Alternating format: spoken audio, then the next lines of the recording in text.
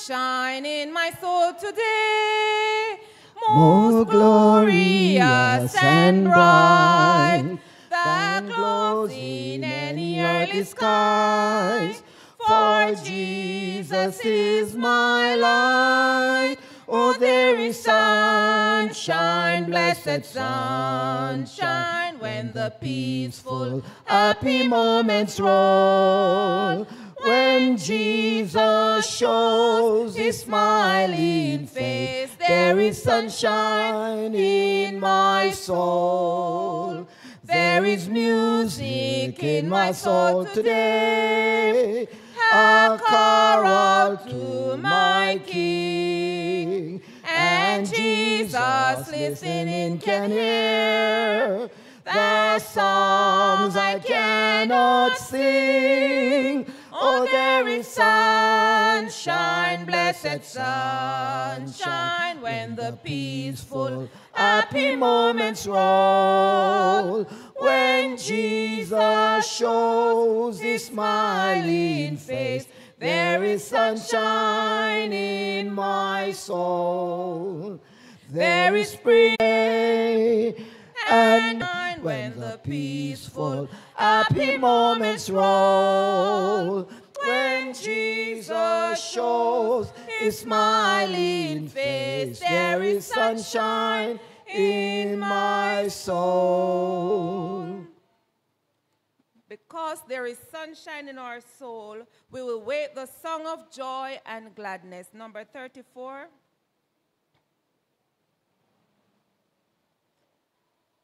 Wait a song of joy and gladness. It'll bring your noblest lays. Banish every thoughts of sadness, pouring forth your highest praise. Sing to him whose care has brought us once again with friends to meet, and whose loving voice has taught us of the way to Jesus' feet. Wait the song. Wait the song. the song, the song of joy and gladness. Wait the song. Wake the song, wake the song, the song of jubilee. Joyfully with songs and banners, we will greet the festal day. Shout aloud our glad hosannas and our grateful homage play. We will chant our Savior's glory while our thoughts we raise above, telling still the all old story. Precious theme, redeeming love. Wait the Wake the song. Wait the Wake the song. The song of joy and gladness. Wake the song. Wait the song. Wake the song, the song of jubilee. Thanks to thee, Holy Father, for the mercies of the year.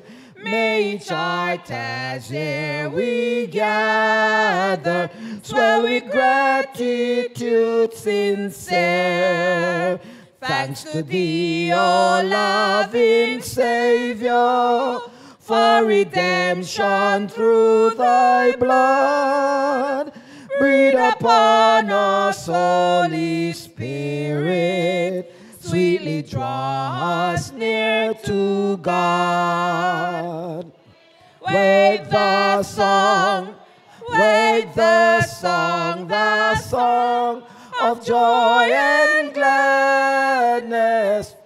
Wake the song, Wait the song. wake the song, the song of jubilee.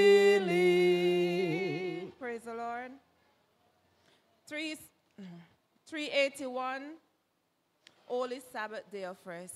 381.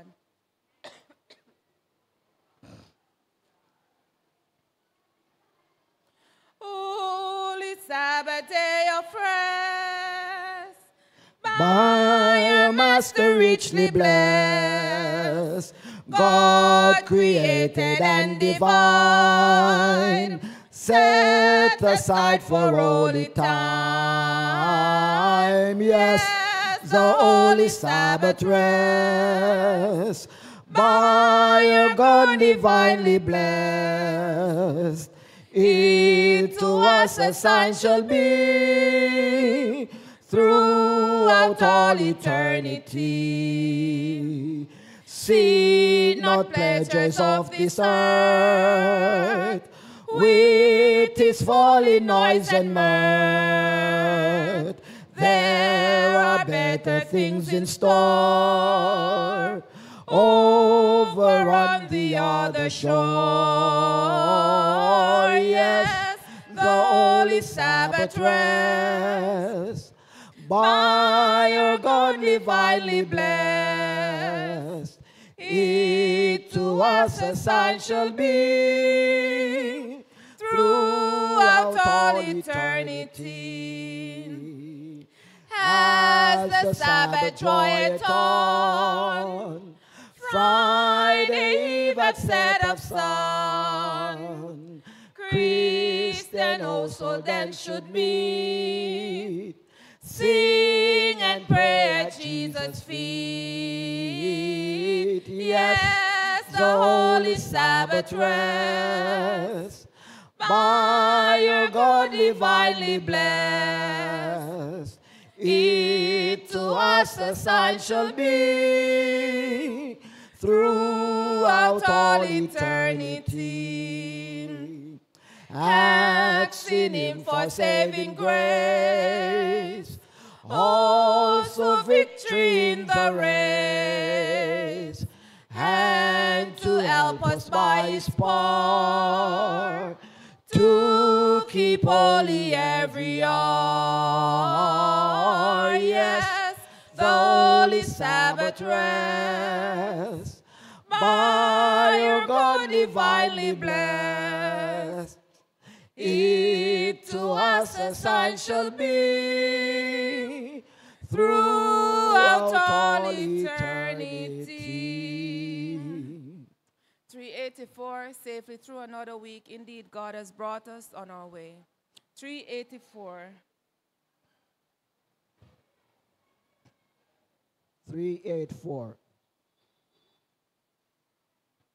Safely through another week, God has brought us on our way.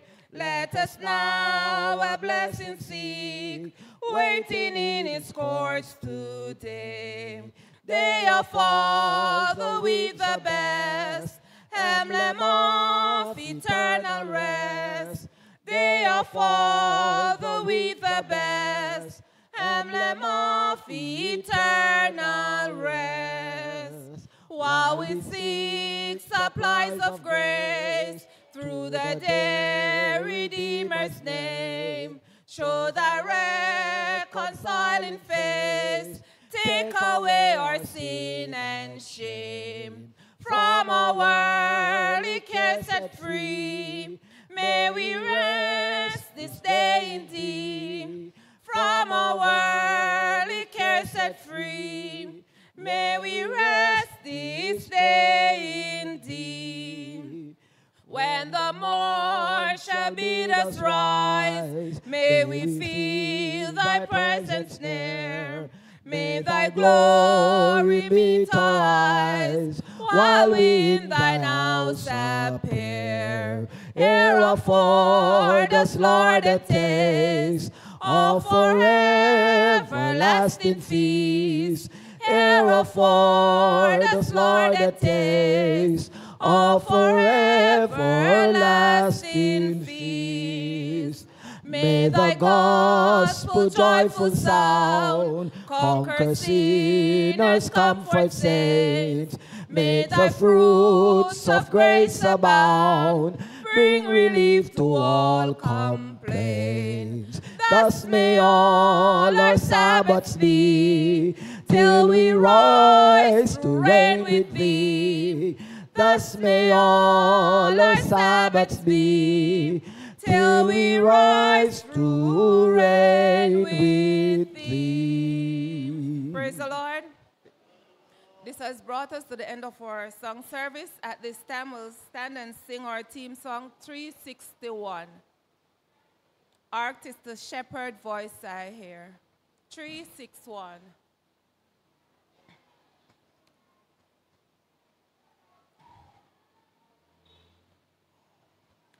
Hark, tis the shepherd voice I hear. Out in the desert dark and drear, calling the sheep who've gone astray. Far from the shepherd's fold away, bring them in, bring them in, bring them in from the fields of sin. Bring them in, bring them in, bring the wanderers to Jesus. Oh, go and help the shepherd kind, helping the wandering ones to find. Oh, bring them back into the fold, where they be sheltered from the cold. Bring them in, bring them in, bring them in from the fields of sin. Bring them in, bring them in, bring the wanderers to Jesus. Out in the desert, hear their cry. Out on the mountain, while and I. Hark, tis the Master, speak to thee. Go find my sheep where they be. Bring them in, bring them in, bring them in from the fields of sin. Bring them in, bring them in, bring the wonder wanderers to Jesus. Praise the Lord.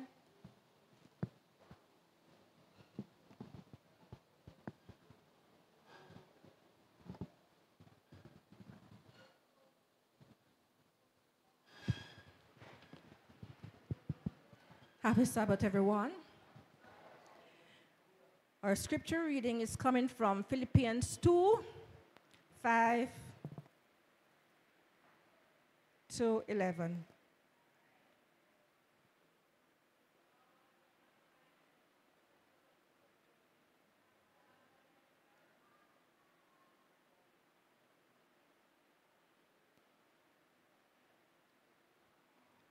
And it reads thus. You should have the same attitude toward one another that Christ Jesus had, who, though he existed in the form of God as something to be grasped, but emptied himself by taking on the form of a slave, by looking like other men, and by sharing in human nature. He humbled himself by becoming obedient to the point of death even death on a cross. As a result, God highly exalted him and gave him the name so that at the name of Jesus, every knee will bow in heaven and on earth and under the earth, and every tongue confess that Jesus Christ is Lord, the glory of the God, of God the Father. Let us pray. O Father, which art in heaven, hallowed be thy name. Father, we come to you this morning to thank you and give you praise and to worship with each other this morning. We ask, oh God, for your blessing on those in the sanctuary, those online, and those to come. And may this day be one big catarampus time, oh God, in Zion. In Jesus' name we pray. Amen. May be seated.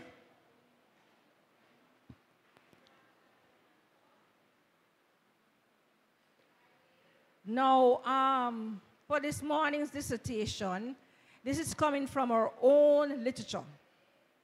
This is coming from the book called Inverse, Quarterly, where, for our young adults. And to show that we, don't, we are not short as Adventists for literature to read. You understand? And this topic is, is, is entitled Foundations of Discipleship. And this section is denial of self. Now, while we battle over whether we should use our human capabilities for selfish desires, Christ was also tempted to use his divine capabilities for self. The same, but totally different as well. Hebrews 14 15 declares, For we do not have a high priest who cannot sympathize with our weaknesses, but was in all points tempted as we are, yet without sin. Some assert that Jesus was tempted literally in every way that every human being has ever been tempted. In some part of Christ's life that was unrecorded by the gospel narratives, Jesus was tempted with marijuana, and I like and I, people with nuclear radiation, or killing people with nuclear radiation, internet pornography, drug trafficking, and so on. On the other hand, some day that this idea is preposterous and that Christ was tempted only in three ways as recorded in Matthew 4 and Luke 4. They averse that Christ was tempted in his own particular way, his own trial, and though he had the victory, this has no bearing on you and me today. The former idea makes Jesus into some mega deranged and abased human, while the latter pushes him away into the ethereal realm or the unreal realm as merely a historical character with no human quality at all. Philippians 2 presents the solution to this tension. Originally meant to resolve an internal Philippian church dispute, it is what Paul writes about the self denial and humility of Christ. Let this mind be in you, which was also in Christ Jesus. Philippians 2, verse 5. Jesus was God and fully divine. But he humbled himself to not only become a human being, but also to suffer an big word, which is terrible, terrible death, as a human being. Paul emphasized that Christ died the death of the cross, a manner of execution for the lowest of classes. Let's put this into plainer language. As in the, the Christ was in all points tempted as we are, but in a different way, because he was a divine model of a car. When we are tempted with intemperance, we have to decide whether we are going to eat the object in front of us or not. Adam and Eve in the garden. But when Christ was tempted, he had to decide whether he was going to use his creative power to rearrange the atoms of stones into edible bread. That's just one way of thinking about it. Perhaps instead he was tempted to eliminate, eliminate the hunger hormones in his body. Perhaps eliminate the concept of food. Perhaps even reorient the universe so that the notion of consumption and necessity were themselves eliminated. Who knows? The extent of temptation when experienced by divinity. Because Christ overcame, God also highly exalted him and given him the, say, the name which is above every name. Philippians 2, verse 9. On this basis, Christ's followers are to partake in this name, to humble and deny self for the larger good. In the case of the Philippians, it was a call for two women to get along. Philippians 4, verse 2, and have the same mind. In the case of Christ's disciples of the 21st century, how will the mind of Christ be manifest in our lives? And that is a question to the church. In the case of Christ's disciples of the 21st century, how will the mind of Christ be manifest in our lives? Anyone?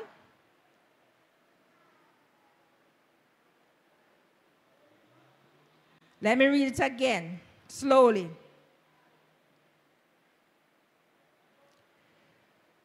Christ's followers are to partake in his name, to humble and deny self for the larger good. In the case of the, the Philippians, it was a call for two women to get along, and they had to have the same mind. In the case of Christ's disciples of the 21st century, how will the mind of Christ be manifest in our lives? Question to the church.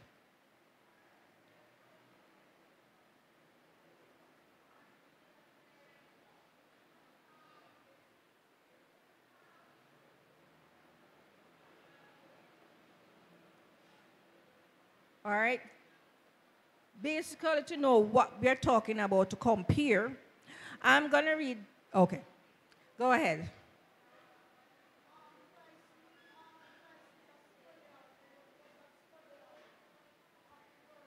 So yes. that is one of the way. Um, Christ, if we have the mind of Christ, we would study the Word of God. That is one um, way. Christ also prayed. He went, he went up into the mountain very early in the morning and prayed. We don't really have to literally go to mountain, but we can have a mountaintop experience in the morning before day with him.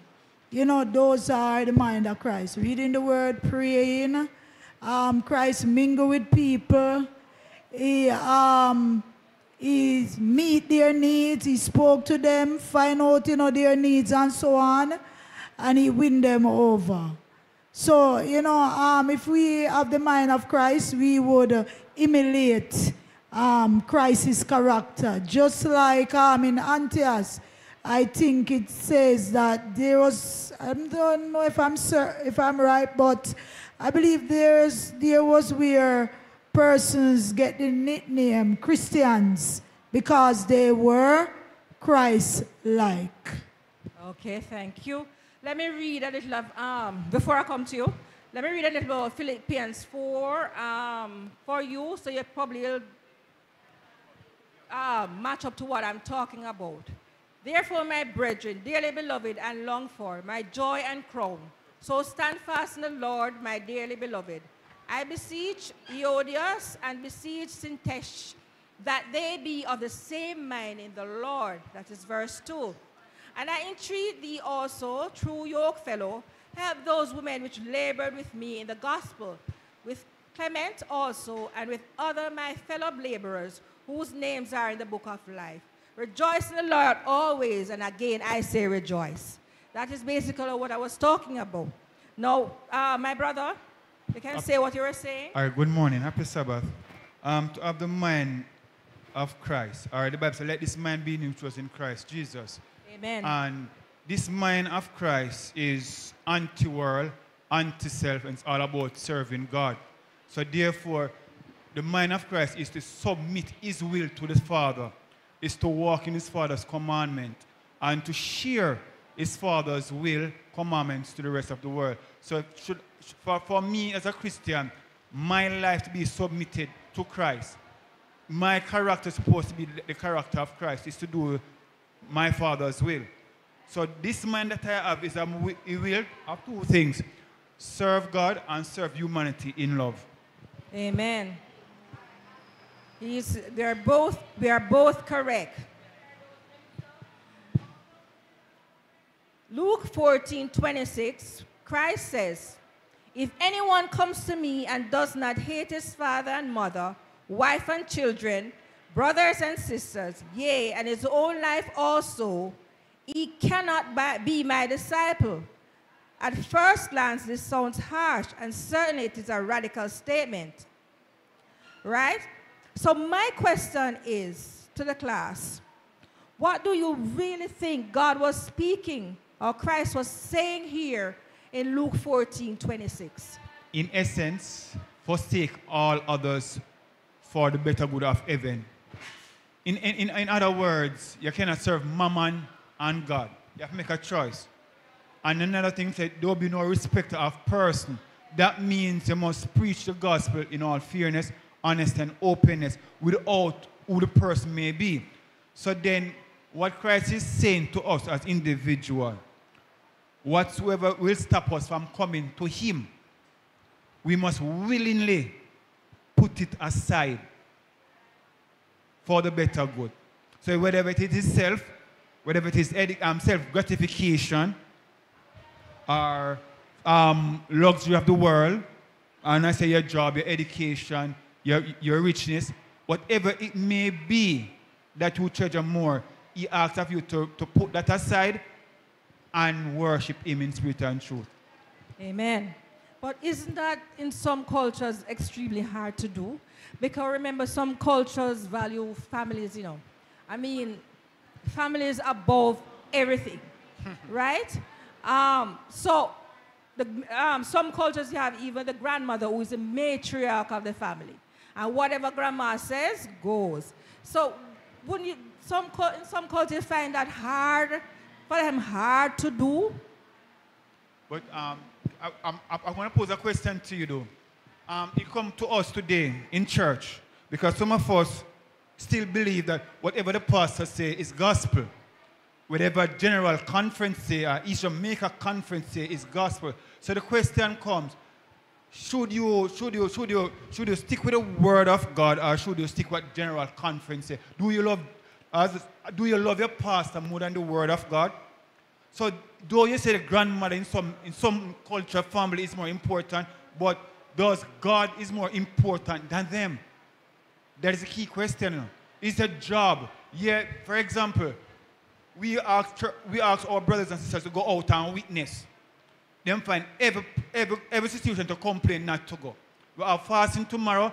Check how much persons coming tomorrow. Them tired, them all have everything to do. But if them boss asks them to come work tomorrow, then put on housework and everything and gonna work. So this is the question. Where does your treasures lie? Where does your sincerity lies?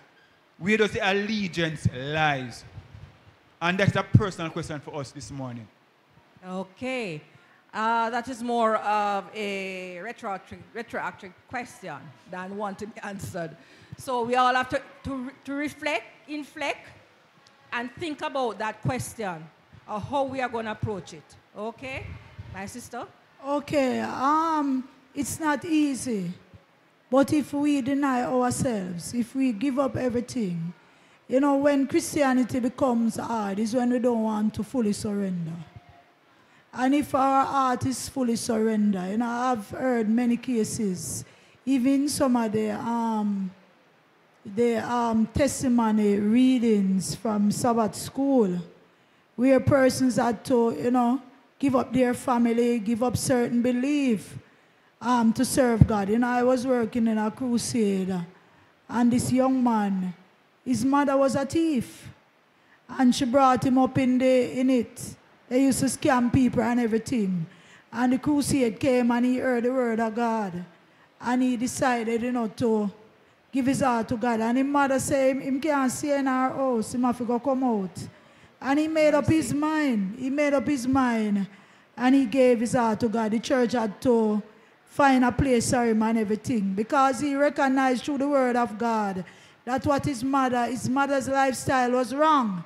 So, you know, it's never easy, but if we truly believe in God, we will step out and God will help us. Amen. That is an example of if we stand up for God, God will stand up for us. No, um, at first glance, it sounds harsh and certainly it is a radical statement. In many cultures, relationships with parents, spouse, siblings, and family are paramount. But rather than the modern connotation of hate, the original Greek word, miseo, denotes loving less and placing lesser value. In other words, following Jesus is not just an addendum to your life, meaning um, something that you do in addition to what to your everyday things, right? It is saying that it is a complete re-evaluation and transformation of it. Relationships are completely rearranged so that Christ is at the center and all relationships stem from that primary one. The beautiful thing is that in keeping Christ as the center, we allow him to be the means by which the relationship is preserved. Okay? Not only in relationships, but also in our personal lives, we are to subjugate and surrender our entire being to Christ as our master. He continues, Whosoever does not bear his cross and come after me cannot be my disciples. It reminds us of Luke 9:23, where Jesus said similarly, If anyone desires to come after me, let him deny himself and take up his cross daily and follow me. In this statement, Jesus may have been foreshadowing the death he was going to die. Moreover, he was calling his disciples to be willing to die, not only physically, but also dying to self for him. This cannot be done by our own human strength, but in a discipleship relationship with him. It will happen. Christ acknowledges that this is such a radical call it warrants some thinking and preparation. Hence, he mentions the need to count the costs before accepting the call. And at this time, we're going to um, pause to go into our various classes for lessons review um, at 10, 10 to 10. And then we'll come, we'll come back at 10, at 10.30 to finish up the dissertation. Teachers stand.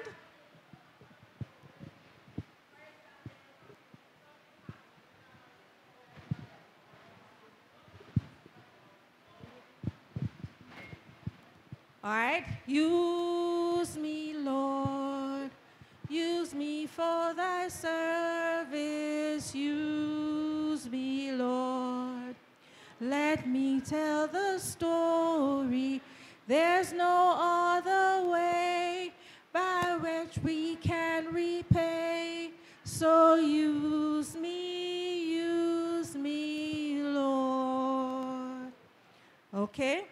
We're going to do the shepherding time now. And then we come back at 1030.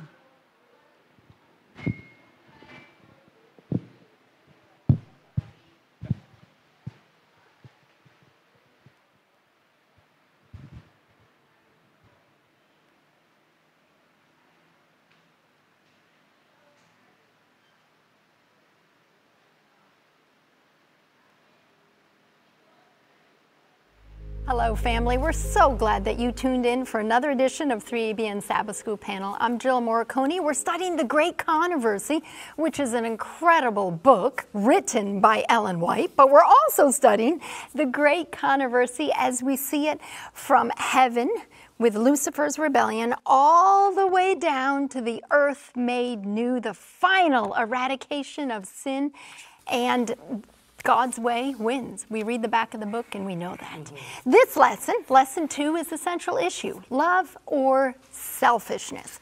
If you want a copy of our notes, we email them every week, and if you've already subscribed, you don't have to subscribe again. But if this is the first time you're hearing about it, you can email us at ssp at 3abn.org. That's ssp at 3abn.org, and we'd love to give you a copy of the notes just as we prepare them.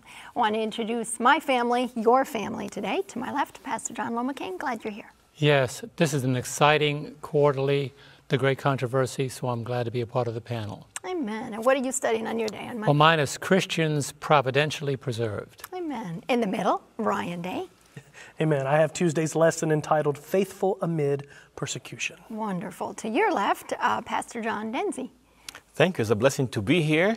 I have a very important lesson for Wednesday caring for the community. Mm, last but not least, Professor Daniel Perrin. Glad Thank you. I've got Thursday's lesson, A Legacy of Love. Mm, amen. Before we go any further, we want to go to the Lord in prayer. And Daniel, would you pray for us? Our loving Heavenly Father, Lord, only by your grace can we understand the character of God, and only by your grace can we have that implanted in us to be like you. Lord, as we study today, uh, we open up our hearts and we ask you to fill us, teach our minds, teach us to live and to love like you do. In Jesus' name we pray. Amen. Amen. The central issue love or selfishness. Ryan asked a question as we started last week's lesson, which we're going to start this week's lesson with Where is God in pain? Where is God in the midst of suffering? If you've ever studied the Holocaust, which occurred not that long ago, you discover that six million Jews were killed, murdered during that time. One million alone in the concentration camp of Auschwitz Birkenau. One million people in just a short span of time. Where is God in the midst of pain? This week, we're going to look a little bit at the destruction of Jerusalem in AD 70. And we'll see the starvation that took place with the people there when it was under siege, and then the people who were killed by the general when he came in. Where is God in the midst of that pain? We'll also discover that not one Christian lost their life during that siege. We're going to look at the persecution of the early Christian church, and we'll discover that some of those Christians were martyred for their faith. They were not spared. We see how the gospel is going to be spread through that persecution and the love that the early Christian church had for others and for God that carried them through some very painful and difficult times. We're going to discover this week the power of love. Jesus' love for his people, even though they rejected him. We're going to see that under persecution, it didn't deter God's people because they loved him supremely. And we'll see the early Christian church's love for other people for others in the church and those who were not even in the church. Our memory text is Isaiah 41, verse 10, and you probably know this verse. Isaiah 41, 10, Fear not, I am with you. Be not dismayed. I am your God. I will help you. I will strengthen you.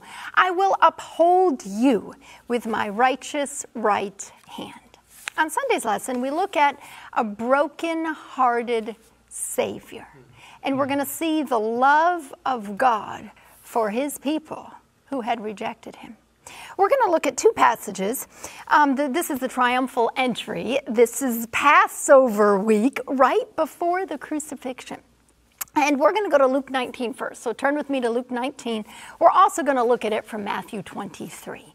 Luke 19, and we see Jesus on this young male donkey beginning the descent on the Mount of Olives, and there's people waving palm branches and singing, Hosanna to the King! Blessed is the King who comes in the name of the Lord! Hosanna to the Son of David! And they're uh, giving him accolades and thinking, oh, wow, look, Jesus is here, the Messiah. Now, they had no concept of his true mission and that he's about ready to be crucified. Now, in the midst of all this, this we see in Luke 19, verse 41. As he, that's Jesus, drew near, he saw the city and he rejoiced. Is that what it says? Mm-hmm. He wept over it. Now, he's not weeping because of his coming crucifixion. He's not weeping for himself. He's sad because his own people, God's chosen people, the people he came to save, they're going to reject him and they're going to go their own way. It's interesting to me, if you read the Old Testament, Israel is likened to a vine. You can find that in several different mm-hmm. passages. We found this in Psalm verse 80, where God says, You've brought a vine out of Egypt. In other words, Israel, God's chosen people, were pulled out of a land of oppression and they were brought into this land of milk and honey. He wanted to care for his people. And what happened? Jeremiah 2, verse 21 tells us what happened to that vine. You planted a noble vine, a seed of highest quality. How then? have you turned before me into a degenerate plant of an alien vine? Hmm. God's people disobeyed him. God's people had turned away from him. You could say the vineyard, it went bad. Wow. You also see in Isaiah 5 God planting the vineyard and watering it and wanting to take care of his people. And time and time again, them turning their back on God. So when God, when Jesus is here looking over the city, he sees the impending destruction of Jerusalem coming in AD 70. He sees that the people, his people, God's chosen people, are going to reject him and are turning their back as a nation against him. Now, that doesn't mean individual people can't be saved. Of course they can. But as a nation turning their back on him. John 1:11, he came to his own and his own did not receive him. Let's keep reading. We're in uh, Luke 19, verse 42. He wept over the city, saying, if you had known, even you, especially in this your day, the things that make for your peace, but now they are hidden from your eyes. He hmm. brought the gospel to them, and they refused him. For days will come upon you when your enemies, this is talking about the destruction of Jerusalem coming, will build an embankment around you, surround you, and close you in on every side, and level you and your children within you to the ground. They will not leave you in one stone upon another, because you did not know the time of your visitation. Hmm. We see the parallel passage from Matthew, and I want to turn there now. We're going to Matthew chapter 23. We see this parallel passage. Jesus again weeping over his people. And I see in my mind's eye, as I read this passage, three stages, Pastor John, for the Jerusalem and Israel in this passage. Number one, they rejected counsel in the past. Mm-hmm. We're in Matthew 23, verse 37. They rejected counsel in the past. Oh, Jerusalem, Jerusalem, the one who kills the prophets and stones those who are sent to her. God's people had been stiff necked and stubborn. There's a fivefold cycle of obedience as we look at the sins in the past and how the people had refused to turn to God. If you look at Nehemiah chapter 9, you see this fivefold cycle of disobedience. We won't turn there, but you can study it. And it cycles through at least three times in Nehemiah chapter 9. You see the people disobeyed. And whatever it says in the Word of God, sometimes it says they're stiff necked, sometimes it says they disobeyed, sometimes they turned away from Him, they went to idols. That's step number one. Number two comes judgment. God sends judgment on His people. Why? Because He wants them to repent. He wants them to turn back to Him in obedience because mm-hmm. He's a God of love and he is not willing that any should perish, but that all should come to repentance. So after judgment comes repentance, and you see this happen with the children of Israel. The nations around came in against them, and they were oppressed, and then they cried out to God in their time of need. They repented, and the last two, mercy and deliverance went forth. God showed mercy. He forgave them, He cleansed them, and He delivered them from their enemies. And we see this happen over and over. But as soon as the land had rest, the Word of God says, as soon as things got easy and pleasant, they disobeyed again and they turned their back on God again. He sent judgment again. One of the stronger judgments would be, of course, the Babylonian captivity. 70 years they were oppressed, 70 years in a foreign country and nation. Why? Because they had turned their back on God. But this judgment was not a judgment to annihilate them, it was a corrective discipline. He wanted to show mercy, He wanted to deliver them. And after the 70 years, they were delivered. But we get down to Jesus' time, and He's saying here number one, you rejected my counsel in the past. How many times in the past did the prophets come to you and you killed them? You stoned them you would not repent. And now we see number two, they refuse Christ in treaty today. It's not just the past, the present they refused him.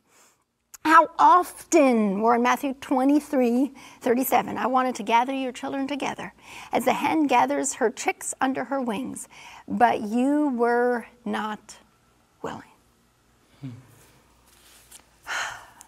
Him coming in person didn't change their minds. The prophets came, and they refused. They repented in pockets and then they turned again to disobedience. Him coming in person, they refused. They're about ready to kill him. We come to number three retribution is coming, judgment is coming. Behold, your house is left to you desolate the divine protection would be removed. The people would suffer terribly. Tens of thousands would die as the Roman general Titus led the armies against the city. Men and women and little children would be slaughtered. So you might say, Where is God? His heart was broken. His eyes were filled with tears. For centuries, he had pleaded with his people. The lesson has this statement I love. By their rebellion against his loving kindness, they forfeited divine protection. God does not always intervene to limit the results of people's choices. Hmm. And here we see in a, in a case for those people, the nation of Israel, coming soon in AD 70, we see the divine protection being removed and the end results of the choices that they had made. Isaiah 5, verse 4, God speaking, What more could I have done to my vineyard? That I haven't done already. So, to me, when we look at the destruction of Jerusalem, we see a picture, as it were, of what's going to happen at the end of time. God bears long with his people and he loves us, but at some point, when all will have made their choice either for or against God, that divine protection will be removed, and we see judgment as a result. While there is yet time, choose love. Amen. Thank you so much, Jill, for laying such a wonderful foundation. I am on Monday entitled Christians Providentially Preserved. My wife and I fly quite a bit, and we have more than a million miles, I think, over the years, kind of extended out to about the two million mark. But something that came to my mind whenever we take off, it doesn't matter what the airline is, it could be very, very small, local, or a very extensive airline, they always talk about emergency measures because they've said emergency measures becomes the single most important focus in times of tragedy. And the NTSB always looks for the black box to find out the reason why things went so tragically wrong. Well, we look at the world today and we look at the decline of humanity, and we could look at God's black book to find out the reasons why things went so tragically wrong. And it will always give us information describing exactly what happened in the fall of humanity. The good news is in the fall of humanity, we are still providentially preserved by Christ who understands our weaknesses, our frailties. And we find in Psalm 46 and verse 1 to 3 this, this uh, emergency measure that we can always know is there. In the tailspin of life, by God's grace, we can always correct our attitude. And that's really flight language. But notice what the Bible says in Psalm 46, verses 1 to 3 God is our refuge and strength, a very present help in trouble. Therefore, we will not fear, even though the earth be removed, and though the mountains be carried into the midst of the sea, though its waters roar and be troubled, though the mountains shake with its swelling. He's saying, But I'm still there. He's my ever present help in time of need. I read a story recently, a very tragic story of a lady who became a very well known YouTuber. She would always chronicle her flights that she took, and uh, more recently, just about a year ago, she met in a tragic accident that took her life and her father's life.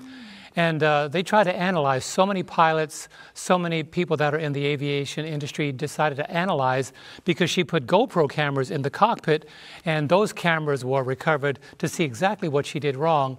They said she was more interested, and this is not a judgment call, but this is what they had concluded. She was very uh, concerned in popularity, but was not familiar with her plane and made judgment calls in critical moments that ultimately ended in the tragedy of her life and her father's life. And sometimes I think about how much we are more concerned about being familiar, becoming familiar with God's instrument than the popularity that it brings. And His Lord is in essence saying to us, focus on all of the things I've made available to you that in your walk with me, you can have a life that is safe. And so when we think about living from the day to day, which is where we all live, the day to day of your life, whatever decisions you're making, there's no need to fear if you simply, and I like the way that pilots have told me this. I was sitting next to a pilot that had flown for more than 32 years, and come to find out we're different uh, belief systems, but he said something significant. I said, How well do you know the Boeing 777? He says, It doesn't matter how well I know it, I always use my flight checklist. Mm. And you know, there are Christians that live from day to day, they don't use their checklist. Mm. They don't look at their lives through the window of God's Word. And pilots and passengers have this unbroken commitment by the NTSB don't leave the ground until you have gone through the checklist. And there's a co pilot to make sure that the pilot and the co pilot live by the checklist. Mm-hmm. How many of you are living by the checklist? By God's checklist. If you are, you can embrace this promise, Isaiah 41 and verse 10 Fear not. For I am with you, be not dismayed, for I am your God. I will strengthen you. Yes, I will help you. I will uphold you with my righteous right arm. So I have four actual observations about what happens when we look at God's providential pres- preservation of every one of us on a, every one of us on a daily basis. The first one is God is sovereign. Hmm. God rules over the plotting of man against his children. God rules over the plotting of the enemy against his children. And in all situations, God has the final say. God determines the outcome based on his foreknowledge. What is foreknowledge? Based on knowledge. How do you compare the two? If you stood on the corner of a tall building and you saw two cars streaming toward the intersection and there was no stop sign, you know, you have foreknowledge that something tragic is about to happen. You haven't programmed it, you can't prevent it, but you have the foreknowledge. God sees us in the realm and the flow of life, and He knows based on the decisions we make based on the intersections of our lives, based on the unseen enemy, he knows what's going to take place and he preempts it by his goodness. And I can't tell you how many times my wife and I have said, these two words, but God. Mm. It could have been much worse, but God. Right. And sometimes God allows the lesser evil to prevent the greater evil. So God is sovereign. What does he say in Luke 8 and verse 17? Here's God's sovereignty. For nothing is secret that will not be revealed, nor anything hidden that will not be known and come to light. God sees it all. He's never in the dark. Also, Psalm 62 and verse 6. David says, he only is my rock and my salvation. He is my defense. I shall not be moved. That's the providential promise. If you trust in God, there's nobody that can move you. Nobody, nobody, financially, economically, socially, spiritually, in no capacity of your life can you be moved when God is your rock. First, God is sovereign. Secondly, God is preemptive. Nothing passes to God's children without God's permission. People ask, why did that happen? Let me share a quotation with you, and I'll come back to the other two points. Because many of us want to be Christians, but sometimes we wonder, why do things happen? And in Ministry of Healing, page 470 and 471, this is an amazing quote. I'll try to get through it in the time I have. Speaking about us, they pray for Christ likeness of character, for a fitness for the Lord's work, and they are placed in circumstances that seem to call forth all the evil of their nature. How does that happen? Faults are revealed of which they did not even suspect the existence. And like Israel of old, they question if God is leading us, why do all these things come to us? But here's what Ellen White says it is because God is leading them that these things come upon them. Trials and obstacles are the Lord's chosen methods of discipline and his appointed conditions of success. He who reads the hearts of men knows their character better than they themselves know them. He sees that some have powers and susceptibilities which, rightly directed, might be used in the advancement of his work. But listen to this in his providence, he brings these persons that he can use into different positions and varied circumstances that they may discover in their character the defects which had been concealed from their own knowledge. That's God's foreknowledge. He then gives them opportunity to correct these defects and to fit themselves for his service. Often he permits the fires of affliction to assail them that they may be purified. God's foreknowledge. He says, You can be better than that. I need to get you into a furnace today. But he doesn't let you get consumed there. He purifies you there. Right. So the furnace of affliction is not for consummation, but for purification, which now takes us to the third point God is our intermediary. I pointed out God is preemptive.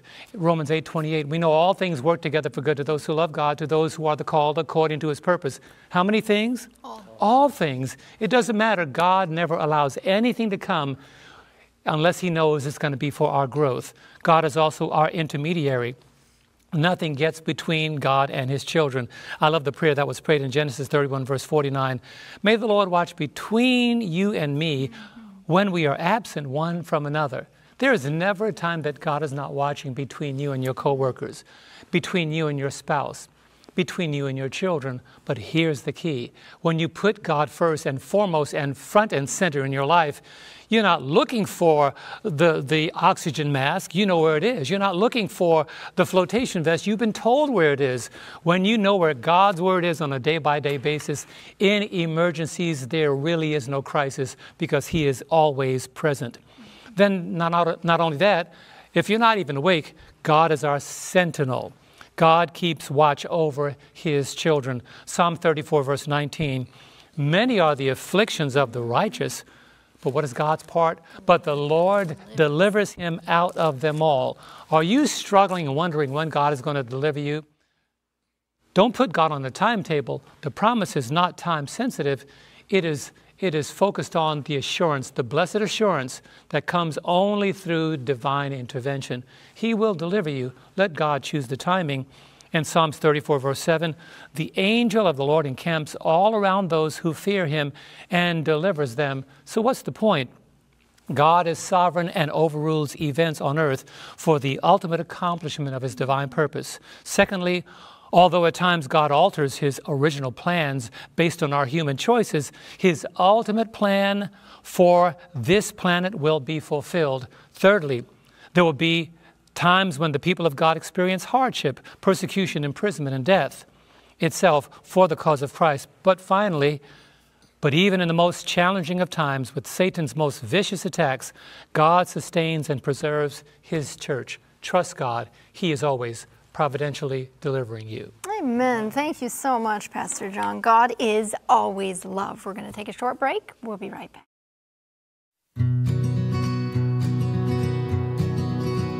Ever wish you could study more deeply along with the 3ABN Sabbath School panel members? Well, now you can. Just send an email request to ssp at 3abn.org and we'll email you the Sabbath School panelist notes on a weekly basis to enhance your own study of God's Word. That address again is ssp at 3abn.org. We'd love to send you their notes, just as they've prepared them. Thank you for watching, and thank you for being part of our 3ABN Sabbath School panel family. Welcome back to our study on the central issue, love or selfishness. We're going to turn it over to Ryan Day on Tuesday's lesson. Amen. Um, Ryan Day. I have Tuesday's lesson entitled Faith Amid Persecution. And I'm so excited that I got this lesson because it was very encouraging just to revisit the power of what the gospel can do in people's lives to make them so faithful even through the persecution that not might come, not could come, but as the Bible says, will absolutely come. And it's, it's important.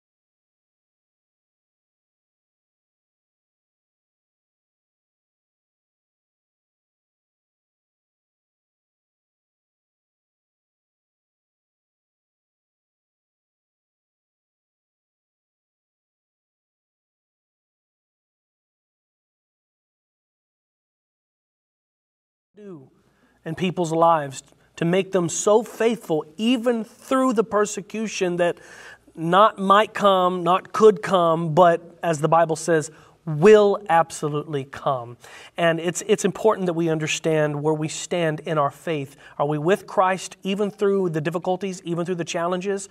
Or are we going to let those persecutions discourage us and even potentially move us, shift us, or draw us away from the faith? Uh, we're going to jump into the book of Acts because it's very encouraging to see how amazingly this church just explodes, uh, not just in numbers, but uh, of course, the, the, faith is spreading rapidly like fire in the early church age here, especially from the days of Pentecost onward. So I'm in Acts chapter 2, verse 41. We get a glimpse of just how powerful the movement of God was in this early church. Acts 2, and I'm going to read verse 41. It says, Then those who gladly received his word were baptized. And that day, about 3,000 souls were added to them. Praise God. That's amazing. And, and, uh, and this continues on. Next chapter, Acts chapter 4, verse 4, and we're going to read verse 31. Notice what it says. However, many of those who heard the word believed, and the number of the men came to be about 5,000. And when they had prayed, the place where, where they were assembled together was shaken, and they were filled with the Holy Spirit, and they spoke the word of God with boldness. So they're on fire. They're experiencing Christ. They understand who He is, and they understand the, the wonderful, life changing uh, aspects of the gospel of Jesus Christ. You could see the church is exploding here. Acts chapter 5, next chapter. Acts chapter 5, verse 42. It says, And daily in the temple and in every house they did not cease teaching and preaching Jesus as the Christ. And so the church is growing, the gospel is moving, people are being changed, their lives being transformed by the gospel of Jesus. And of course, by the time you get to Acts chapter 7, we're not going to read anything from there, uh, but Acts chapter 7, we see that Stephen is in the, in the street preaching. He's reminding the leaders of Israel. He's eventually taken before the Sanhedrin, and he's reminding them of what they've done and how they rejected the Messiah and how their time of probation is coming to a close. And what do they do? Instead of receiving the message, instead of receiving the gospel, they plug their ears, they take him outside the city, they stone him, and we know there that it says that they laid their coats, those who stoned him, at the feet of a young man named Saul. Now, notice when we get to Acts chapter 8 what is happening here, because now Saul has been drafted, I guess you could say, to go wreak havoc. And I'm using the Bible's words here havoc on these believers. And notice the response of the believers. That's the whole point of this lesson. Many people would run and, and go hide, and similar to what the disciples did when, uh, when Jesus was crucified. They all ran and hid because they were for fear of the Jews finding them and doing the same to them. They hid. But now, this, this Pentecostal uh, movement, the, the outpouring of the Holy Spirit, has, has now revived or awakened a spirit within them that they're not fearful of what's going to happen to them. They are, they are locked in on Christ. And so notice, we're going to start in verse 3 here, Acts chapter 8 and verse 3. It says, As Saul, he made havoc of the church, entering every house and dragging off men and women, committing them to prison. Therefore, notice here, notice the response. Therefore, those who were scattered went everywhere preaching the word. Notice they didn't scatter and go hide, they went and continued to preach the word. And then, and of course, the results of this, uh, verse 8, it says, And there was great joy in the city. So, what was the response of Saul's persecution? well, they might have scattered, but they continued to preach the word. And again, amid all of this persecution, you see the faith of these people because they're joyful to continue to be able to preach the word. Now, Saul would have a very similar uh, uh, situation happen to him because he's eventually going to be converted in the next chapter, chapter 9 bem.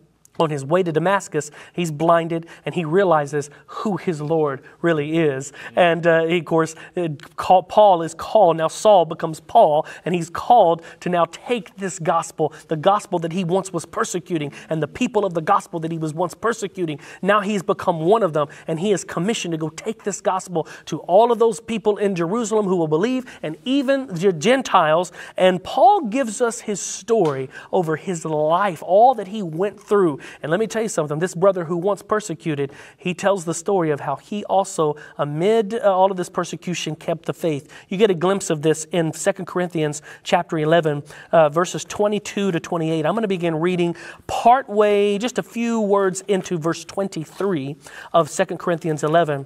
And Paul gives us a list here. I mean, this list is just amazing about the persecutions he went through.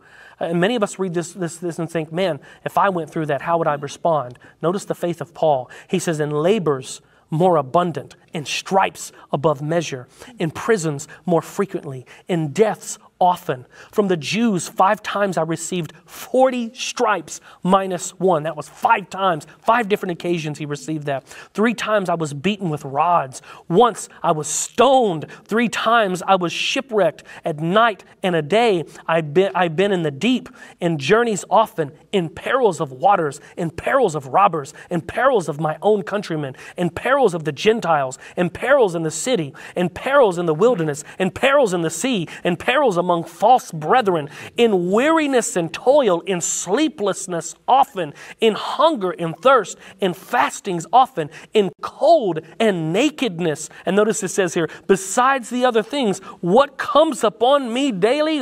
Through all of this, what comes to my mind? What is on my mind? The fear of what's going to happen next, the fear of all that's happening that has happened to me and what might happen to me after this. He says, what comes to me, what comes upon me daily? He says, my deep concern for all the churches. His heart was that of the heart of Jesus through all of the persecution. I want to have that the, the heart of, of, of a Saul. I want to have the heart, of course, of Jesus. Jesus was persecuted more than anyone, and through it all, he stayed true to his Father. The question is can we remain true to our Savior through and amid persecutions that we might endure? I want that, but if not faith. I've done messages on this uh, in the past, Bible studies on this. When you read in Daniel chapter 3, these three young men who are facing their lives being threatened, of course, not only threatened, but they are literally thrown into a fiery furnace. Uh, but before this, again, in the threatening of their lives being burned up in a hot fiery furnace, that of Hananiah, Mishael, and Azariah, what do they say? Uh, let's go to there, Daniel chapter 3, and I'm going to read verses 16 and, and of course, our, our key words in verse 18 there. But Daniel chapter 3, verse 16 and onward. Uh, of course, it gives their Babylonian names here. Shadrach, Meshach, and Abednego answered and said to the king, after he had threatened them uh, to, to give in and to bow to the, to the graven image, to this idol that he had erected. And it says here, it says, O Nebuchadnezzar, we have no need to answer you in this matter. If that is the case, our God, whom we serve, is able to deliver us from the burning fiery furnace, and he will deliver us from your hand, O king. And I love these next three words. But if not. I love that faith. That's the faith I want. Lord, I know you're able to save me. I know you're able to bring me through whatever. I know you're able to keep this trial from me and this hardship from me and this difficulty and, and that situation. I know you're able to keep us from all of that. But Lord, but if not, even if you don't, I love this. It says, But if not, let it be known to you, O king, that we do not serve your gods, nor will we worship the gold image which you have set up. In other words, we will remain true to our God, whether he delivers us or he does not.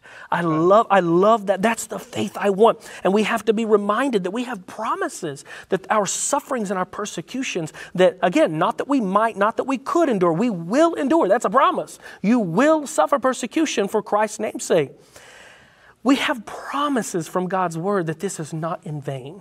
In fact, it says in James chapter 1 verses 2 to 4 that my brethren count it all joy mm-hmm. when you fall into various trials, knowing that the testing of your faith produces what is it? Patience. My goodness, I need patience. We all need patience. It says, But let patience have its perfect work, that you may be perfect to complete, lacking nothing. Now, tied to that, Romans chapter 5, verses 3 and 4. I love this as well. And Paul writes, Someone who went through persecution, he knows a little bit about this. He says, And not only that, but we also glory in tribulations, knowing that tribulation produces perseverance, and perseverance, character, and character, hope. We should count it all joy. We should find it an honor, as Peter would write, to be able to suffer as Christ suffered. Of course, in our humanity and in our carnality and in that sinful nature that we often fight, we don't want those persecutions. We don't want to have to go through them. We don't want to have to experience them. But the question is can you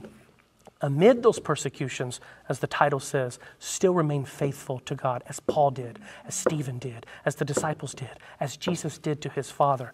I want to pray, Lord, help my unbelief. Give me the strength. Give me the heart of Jesus. Let me have the faith of Jesus Christ that I may stand confident and persevere to the end. Amen. Amen. Praise the Lord. Praise the Lord. Thank you so much. It was encouraging. yes. Well, my name is John Dinzey. We're now on Wednesday's portion of the lesson, and the title is Caring for the Community. And I'm reading from the lesson. And uh, the early Christian church grew not only because its members preached the gospel, but because they lived the gospel. Believers modeled the ministry of Christ who went about all Galilee, teaching in this, their synagogues, preaching the gospel of the kingdom, and healing all kinds of sickness and all kinds of diseases among the people. You cannot go wrong when you do as Jesus did. Praise the Lord. So we see that the early disciples modeled what Jesus did. And you know, we, we used to have a sign. I don't know why it was taken off. He remodeled things. But there was a sign in the lobby that said, preach the gospel and if necessary, use words. And you know, that is a very powerful message when you think about it, because really, by the way you live, by the way you talk, by the way you walk, even, you are preaching something. Right. May it be the gospel. And so I encourage you to take this into consideration. And you know, uh, Jesus said something to his disciples. I'm going to look it up here in John chapter 13 and verse 34. I know this. I know that uh, the following lesson, the following day, is going to talk about John 13 35. So I, I won't go there for you. John 13 34. Uh, Jesus says to his disciples, notice this, beautiful. A new commandment I give to you that you love one another as I have loved you, that you also love one another. And this was one of the things that took place among the disciples. They loved one another. And it says in Acts chapter 2, verse 44 Now all who believed were together and had all things in common Verse 45 And sold their possessions and goods and divided them among all as anyone had need. I want to stop right there for now because uh, you uh, sometimes when you read this, some people carry away the message. They just say, well, they sold everything they had. They sold their houses and their possessions and they took the money and they started distributing among each other. No, all things were held in common. If there was a need, uh, they would let the need be known, and somebody says, Well, I have some land, I'll sell that, and let's meet that need. It wasn't that everybody sold everything at the same time, it was as the need arose. Otherwise, everybody would be homeless, mm-hmm. everybody would be uh, out in the streets. And so, as the need arose, is when these things were sold. So, verse uh, 45, 46 So, continuing daily with one accord in the temple and breaking bread from house to house, they ate their food with coming from Uzbekistan. Who knows where is Uzbekistan? I can't even pronounce the name. Uzbekistan is Russia side, right? right. So we have here Daniel Patterson's going to read a story for us, okay? And then we'll continue our discourse.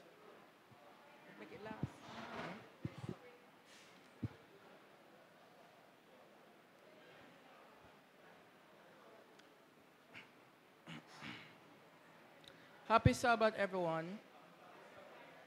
Today's mission story is, take, is called One Broken String.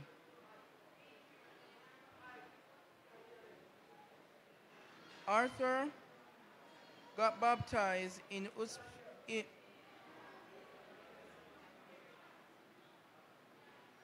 Arthur got baptized in, in Uzbekistan when he was five but he didn't know anything about God. No one spoke to him about God or took him back to church after his baptism. Even though he never thought about God, he began wearing a cross shaped earring when he was 14. He thought it looked cool. Then Arthur told his mother that he wanted to learn to play the guitar. Mother took him straight to a music store.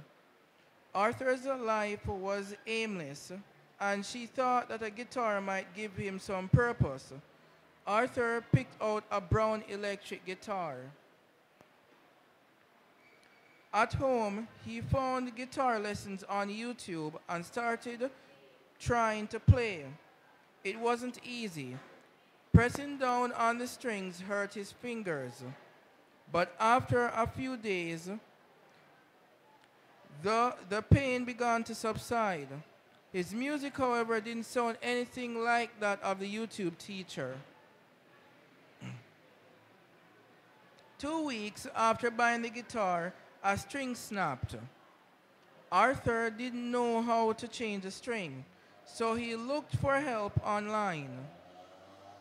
He found the phone number of someone named Artyom who offered guitar lessons. He called. I need to change a string, he said. Can you help? Artyom gave Arthur his home address.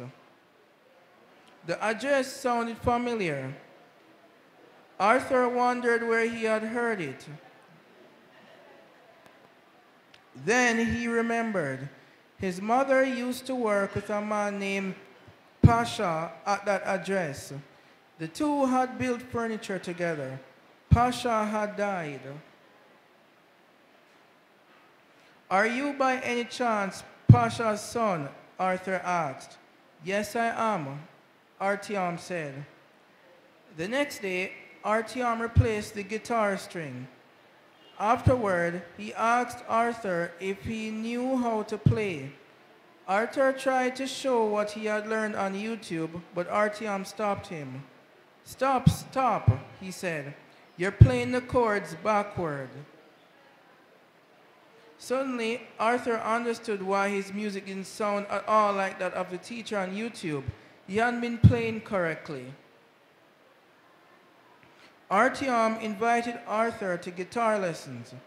At the first lesson, Arthur, Artyom commented on the cross-shaped earring in Arthur's ear. Are you a Christian? he asked. Arthur said he wasn't a Christian. At the second lesson, Artyom suggested meeting the next time in a room at the local Seventh-day Adventist church. The church was close to Arthur's home, and he agreed. As Arthur learned to play the guitar, he began to spend time with Artyom outside of lessons. He learned that Artyom was a global mission pioneer, a missionary who shares the gospel with people in his own culture. He accepted invitations to go hiking with Artyom and other Adventists in the mountains. When the hikers sat down to rest, Arthur enjoyed listening to them sing songs. Artyom played along on the guitar. That summer, Arthur went to an Adventist youth retreat in another city. He was caught off guard when a retreat speaker asked attendees to split into pairs to pray. I, I am an atheist, he told the first person who offered to pray with him. The person went away. Arthur also told the next person who came over that he didn't believe in God. Moreover, he, he added, I've never prayed before. This person didn't go away. We can fix that, he said. He taught Arthur to pray. That night, Arthur thought for a long time about what had taken place. On Sabbath, he was amazed to see a young man get baptized at the retreat. I was baptized when I was five, he said. Why do Adventists baptize adults? He learned that Adventists understand the Bible to teach that people should be old enough to understand the Bible and the commitment that they are making to God before being baptized. The next Sabbath, Arthur went to the Adventist church near his home to worship for the first time. In the afternoon, he joined church members in handing out school supplies to needy children. He felt a new joy fill his heart, and he thought, what is the point of living if I don't help others?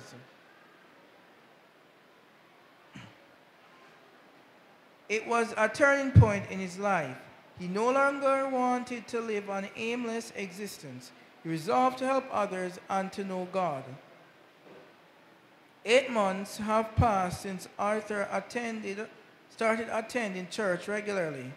He has been studying the Bible and he wants to give his heart to Jesus in baptism. He is glad that his guitar string broke. I believe in God because of a broken guitar string, he said. Part, part of this quarter's 13th Sabbath offering will help open the first day's se- seven day Adventist elementary school in, in, U, in Uzbekistan. Amen. And I don't, don't know about you, but I heard several different ways in which we can reach people through this story. And one of them is because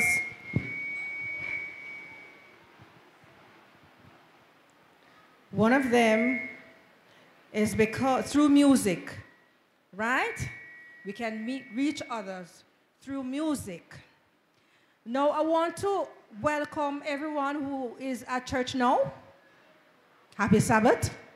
And those who are online, we welcome you, right?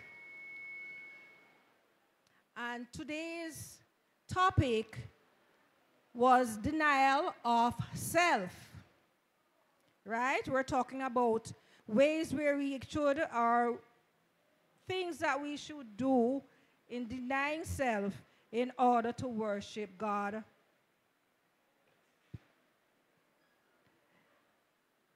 And put Him first every time. Now I'm going to continue and finish up for personal ministries. Now, to all comes the temptation to gratify selfish, extravagant desires. But let us remember that the Lord of life and glory came to this world to teach humanity the lesson of self denial. Right? Not only is Christ our Lord, our Master, our teacher, and our rabbi, but he also is our example. All that he calls us to do, he experienced equally.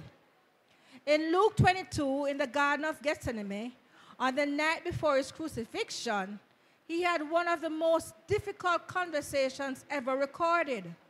In verse 42, Jesus prays, Father, if it is your will, take this cup away from me. Nevertheless, not my will, but yours be done. Luke, who was a doctor, is the only gospel writer who records that Jesus shed blood with his sweat glands.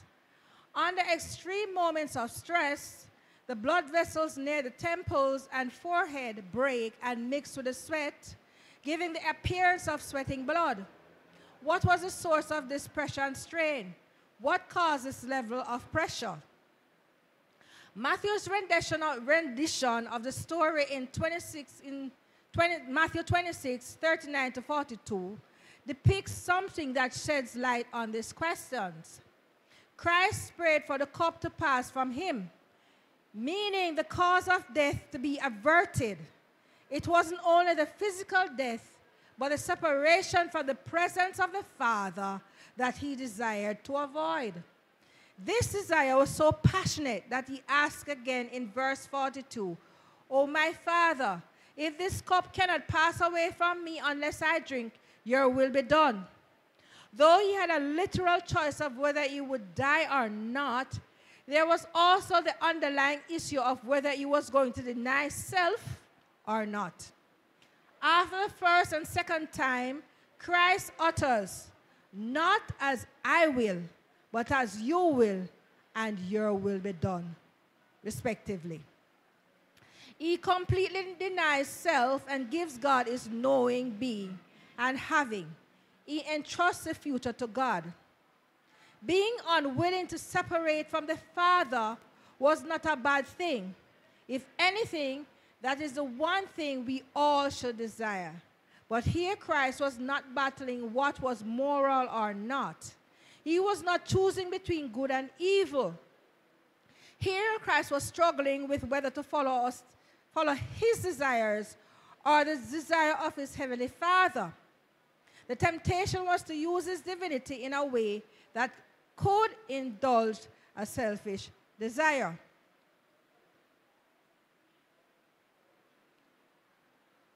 In order to become acquainted with the disappointments and trials and griefs that came to human beings, Christ reached the lowest depths of woe and humili- humiliation. He has traveled the path that he asked his followers to travel. He says to them, If any man will come after me, let him deny, himself and take up his cross daily and follow me. But professing Christians are not always willing to practice the self denial that Savior calls for. They are not willing to bind about their wishes and desires in order that they may have more to give to the Lord. One says, My family are expensive in their taste, and it costs much to keep them. This shows that he and they, and they need to learn the lessons of economy taught by the life of Christ.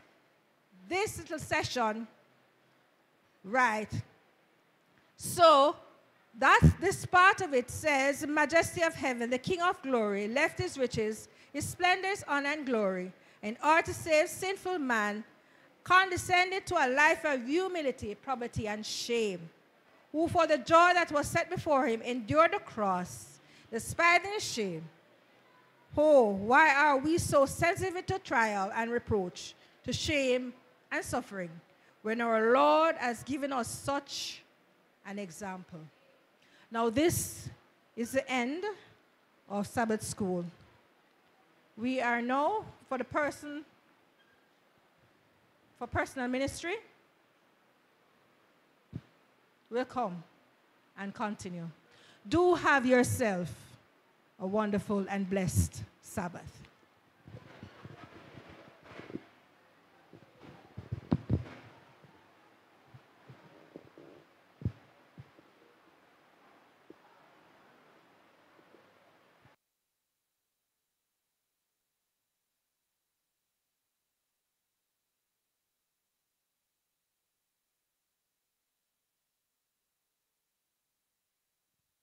Stand, let us sing, sing the personal ministry song. Brother, wish to help us out with it now. All right, it's seeking the lost.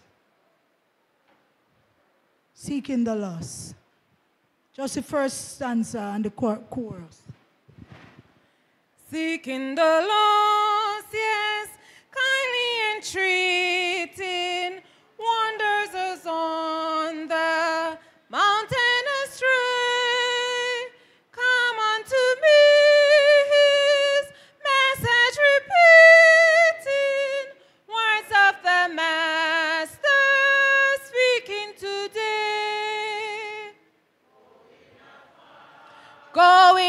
Going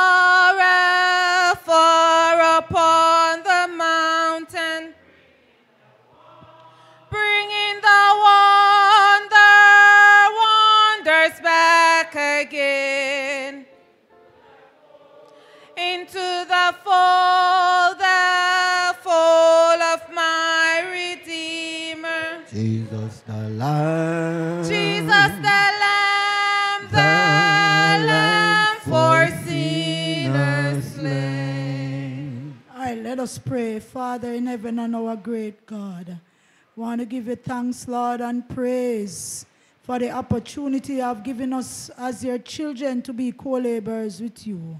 We pray, Holy God, that you'll cleanse each and every soul here this morning.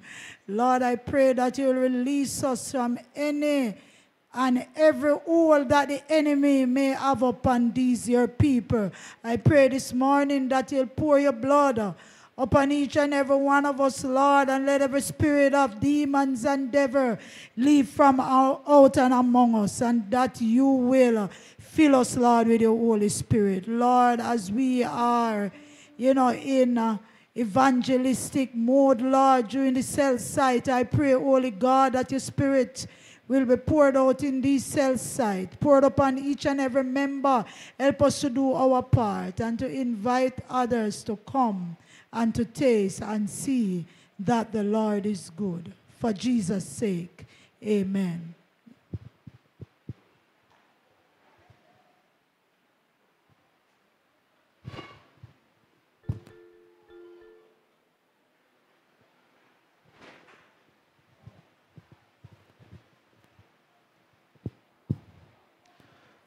Have a Sabbath, everyone. No, man. Happy Sabbath, everyone. And how are we feeling? We're feeling what? We're feeling blessed. No, I am here to do a promotion. Now, the promotion that I'm here to do is that on April 20th, which is next week Sabbath, the men's ministry department will be embarking on a week of revival. When do we start? I don't like how the church is not sure. When do we start? That's right, next week Sabbath. That's April 20th. Now, I, I want you to follow me very closely. Now, on next week's Sabbath, the 20, which is April 20th, we are going to be starting at 9.15, right? And, that, and this is our week of revival. And the speaker is Elder Denzel Cunningham. Then we're going from Sunday night to Thursday night, right? And we are starting at 7.15 p.m. nightly. That's our week of revival with Elder Denzel Cunningham. Then, uh, you know, we could have just decided that we are going to rest on Friday night. But we decided, we decided that on Friday night, we're going to do something special. So on Friday night, which is the 26th of April, we are going to be having a praise and worship Vesper. And uh, our guest speaker for that night is Pastor Ranjo Brown, also known as the singing pastor. So you know that Friday night is a night you can't, you can't miss Sabbath uh, to Thursday neither, you know, but Friday night is a night that you cannot miss. And let me tell you, you see, Friday night, we only have Pastor Brown's photo on the flyer. We have a special guest joining us on that Friday night as well. But I won't be spilling the beans. I won't be spilling any secrets. In order for you to know, you have to do what? Come Friday night. Then, on, then after the Friday night, we go to the 27th, right? And on the 27th, that is going to be our men's day, right? And uh, our special guest speaker is Pastor Michael Lewis. And uh, once again, we only have Pastor Lewis' picture on the flyer. You see, come Bible class, come AY, you don't want to miss the 27. We have special guests coming in to ensure that the 27 is a day that you will never forget. And in the midst of all of this, our theme is Men of God, anointed and appointed. I want the church to say that with me. So let's go after two. What's the theme? After two, one, two.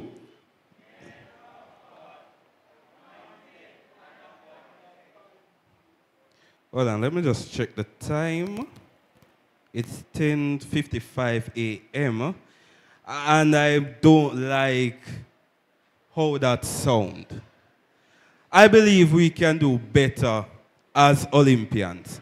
So let's go again with the theme. After two, one, two.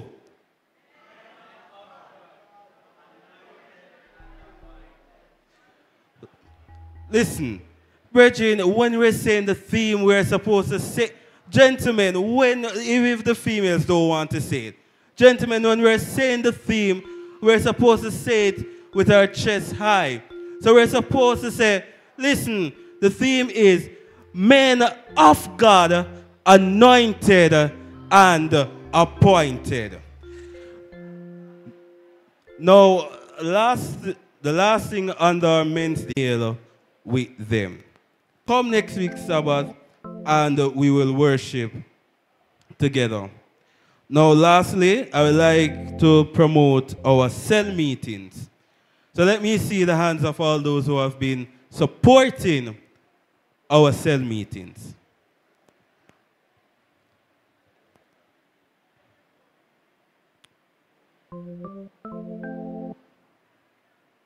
No, no, no. Virgin, I want you to understand that our cell meetings are not just for pretty names. You see, the cell meetings are for us to meet individuals where they are, and that is within uh, their homes, within the communities that they live in. So I'm going to be asking that members, you come out, that you invite a friend to come at these cell meetings. And as you can see on the flyer, we have different zones. We have three zones, Zone A, Zone B, and Zone C. So Zone A meets in the Bay Farm Villa area, and the classes are temperance, love, and joy. So if you are a part of these classes, then you meet uh, in the Bay Farm Villa area. Zone B, this is Ella Gail McDonald class. You meet in you meet at 11 Avenue, that's 23 Avenue. And also you meet at 13 Lowton Avenue. And the classes are meekness, peace, and faith. For zone C, and the leader for this zone is Ella Olivine Phillips. You meet at 20 Ponuncia Avenue, and the classes are gentleness and goodness. Virgin, the flyer will be posted again in the WhatsApp group. We're going to ask that you pray for the program, you support the program, and you invite out um, those who are in the community as we go through the lessons each night on a Sunday night. Happy Sabbath, church. Well, guess what? Um, Brother Francis, stop eat meat. Brother Francis, done with the rice and all those stuff. We're going the healthy way now. All right, so come this, the 20th of this month. Guess what, brethren? We're going to have a herbalist doctor coming at our church to help us to cut off meat and all those stuff that we are eating that is not good for our body. Because, brethren, from I stop eat meat, my body feel different. My body feel more energized. Brethren, I can tell you, many of you guys need to, to try it. But come this, the 20th of this month, just come out to hear what the doctor have to say. And in AY time. So you can't afford to miss it. Invite somebody to come, brethren, because we need to get more healthier. And we, we, we must, because we want to live longer. So, brethren, just invite a friend to come out the 20th in the evening at AY to hear about our healthy lifestyle of eating. Men's choir, please meet outside. Thank you.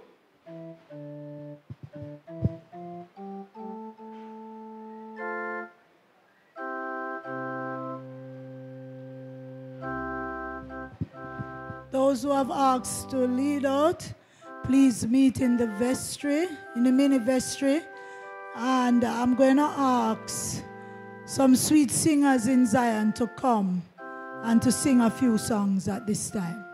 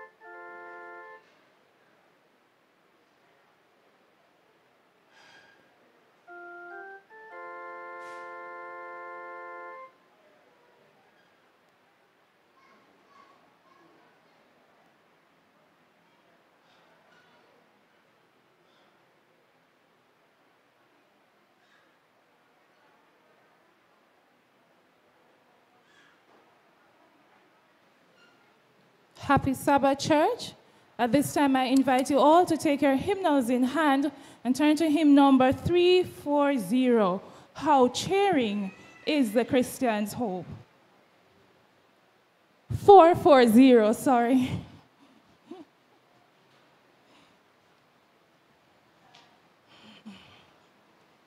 How cheering is the Christian's hope while toiling here below. It buoys us up, it buoys us up while passing through this wilderness of woe. It buoys us up while passing through this wilderness of woes. It points us to a land of rest where saints with Christ will reign, where we shall meet, where we shall meet the loved of earth and never part, never part again, where we shall meet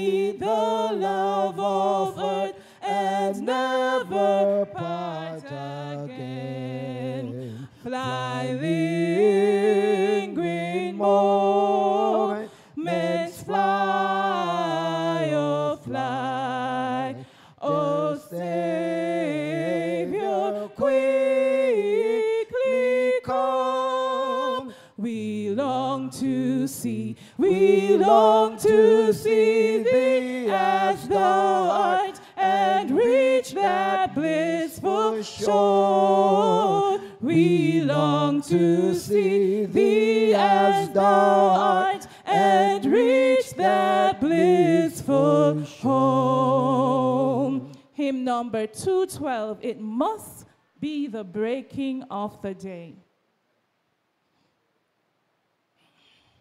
Tis almost time for the Lord to come. I hear the people say, The stars of heaven are growing dim. It must be the breaking of the day.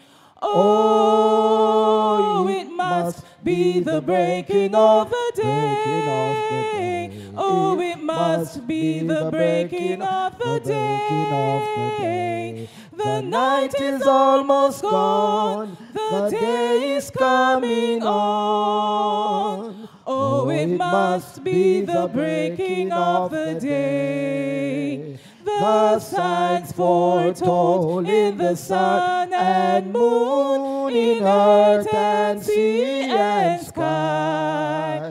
Aloud proclaim to all mankind the coming of the Master joy at night. Oh, it must be the breaking of the the the day. Oh, it must be the breaking of the breaking of the day. The night is almost gone. The day is coming on. Oh, it must be the breaking of the day. It must be time for the waiting church to cast her pride away. With girded loins and burning lamps the breaking of the day. Oh, it must be the breaking of the breaking of the day. Oh, it must be the breaking of the The breaking of the day. The night is almost gone. The day is coming on. Oh, it must be the breaking of the day. Go quickly out in the streets and lanes and in the broad highway and call the maimed, the halt and blind to be ready for the breaking of the day. Oh, it must be the breaking of the breaking of the day. Oh, oh, it must be the breaking of the breaking of the day. The night is almost gone. The day is coming on. Oh, oh, it must be the breaking of the day. Hymn number 212. We have this hope.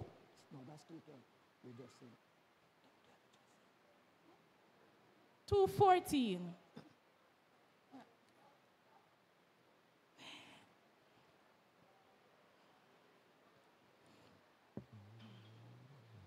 We have this hope that burns within our heart. Hope in the coming of the Lord.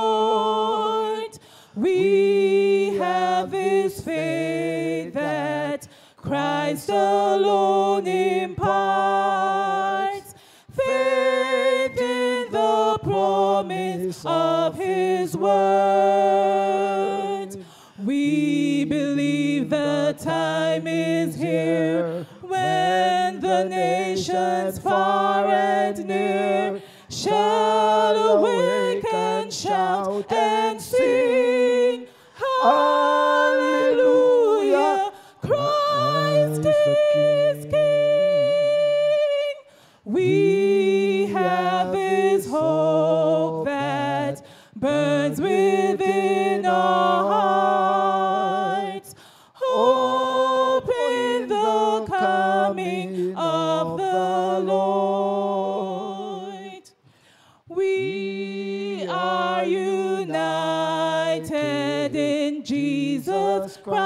Lord.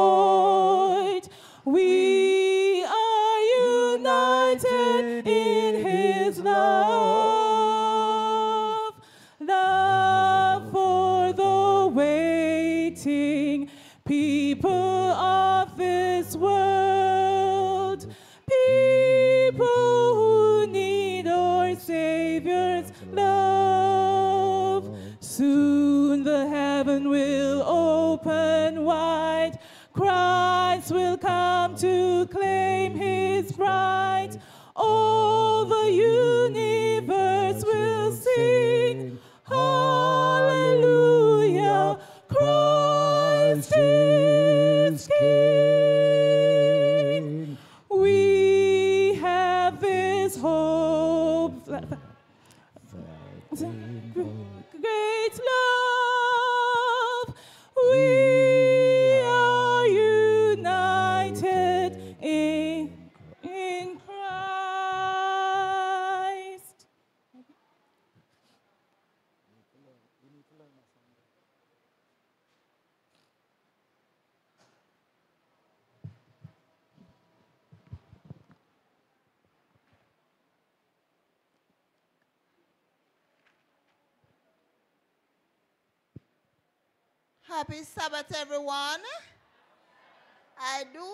that you're having a wonderful Sabbath thus far.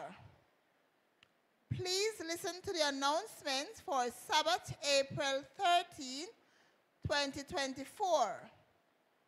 Our worship continues with our Bible class this afternoon at 3.30.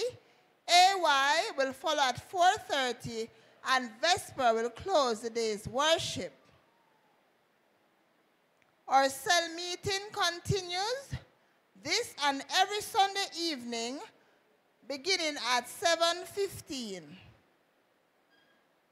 Also, our regular Wednesday evening prayer, praise, and testimony service begins at 7.30 each Wednesday evening.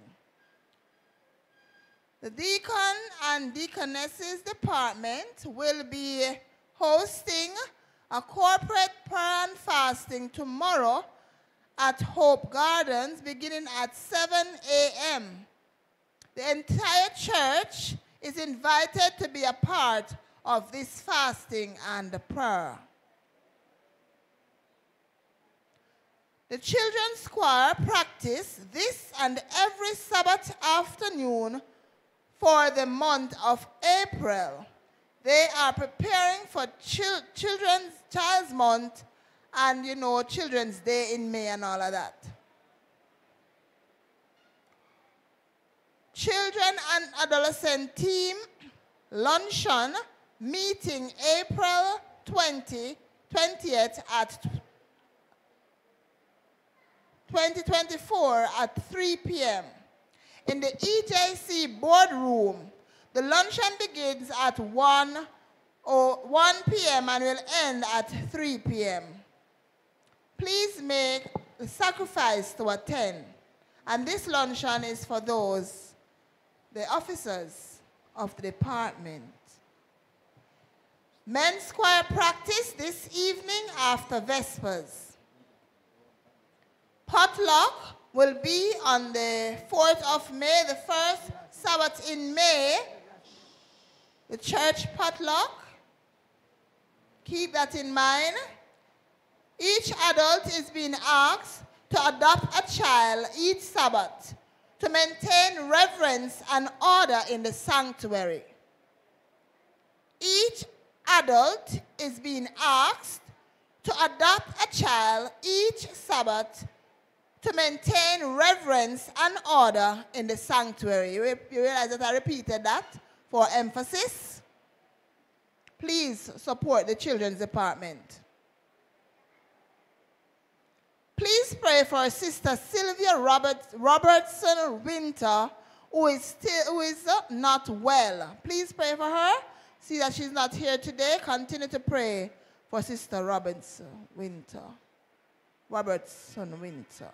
Please pray for Sister Carmen Radcliffe's niece who did a major surgery, major operation. She's out of the, um, the, um, the surgery, was successful. However, she's not out of danger. So please continue to pray for the niece of Sister Carmen Radcliffe. Please pray for Sister Monica and her family. She's asking the church to remember her in our prayers. And remember to pray for all the individuals who have been um, on the prayer list. Continue to pray for them as they need our prayers. And prayer changes things. Amen, church? Prayer changes things. Okay, this is our wonderful note. Sister Nadine Lawrence is celebrating 32 years in the nursing fraternity. Today, April the 13th. That's a, that's a milestone. And we see COVID went by and many nurses died, right? But God protected her through all of this. And uh, we are celebrating with you, Sister Lawrence. And we pray that God will continue to bless you as you continue to serve in the capacity that He has placed you on this earth to serve. And from the Women's Ministry Department, you have always been a tower of support to us. You're a silent member, but we, we, we, we, we, we give you the support and thank you for all that you have done towards our department. All right, the funeral service for the father of uh, Elder Olivine Phillips will be on Sunday, April the 21st in St. Elizabeth at 2 p.m. For further details, please see Elder Gail McDonald Ellis this evening after Vespers. And happy belated birthday greetings going out to the following individuals. Elder Olivine Phillips, who celebrated her birthday yesterday, April 12. Greetings are coming from Sister Beverly Cole, Elder Gail McDonald Ellis, and the rest of the church family. We hope you had a wonderful day in the Lord. Okay, belated birthday greetings also going out to Benjamin Allen, who celebrated his birthday on this. It's tomorrow, so I get wrong information. I got wrong information. So tomorrow you'll be celebrating. So it, it, we are preempting. Where is Benjamin? Is here? Hi, Benji. Okay, so tomorrow will be Benjamin's birthday. And the greetings are coming from Auntie Diane. I don't know why her name is first on the list. Our mother, his mother and father, Sister Rose Jackson, Mama Jackson, and Sister Bev, and the rest of the church family wa want to wish that Benjamin has a wonderful day tomorrow celebrating life. Okay? And any other persons who are celebrating birthday today, please stand with the rest of the celebrants as we um, celebrate with you your belated and upcoming. Any other person celebrating birthday? Our celebrated birthday this week? Okay. Sister, Sister Olivine, first elder, please come down. We want to sing for you. Brother Sims. Um, oh, yeah, we were mentioned last week. I still knew that. And happy belated birthday to Brother Sims, who celebrated his birthday on the on the 8th of April. Right. All right, let us go now. Two, three. Happy birthday to you. Happy birthday to you. Happy birthday,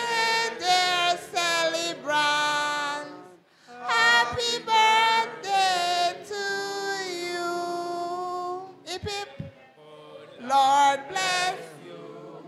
May the good Lord bless you. May the good Lord bless you. Happy birthday to you. And so we do hope that you continue to give the Lord years that he will give to you. Our thought for today is 1 John 4, verse 7 and 8. Beloved, let us love one another, for love is of God. And everyone that loveth is born of God and knoweth God. He that loveth not knoweth not God, for God is love. Okay? Sunset this evening at 6.23 and next Sabbath evening at 6.24. Do have a spirit-filled Sabbath.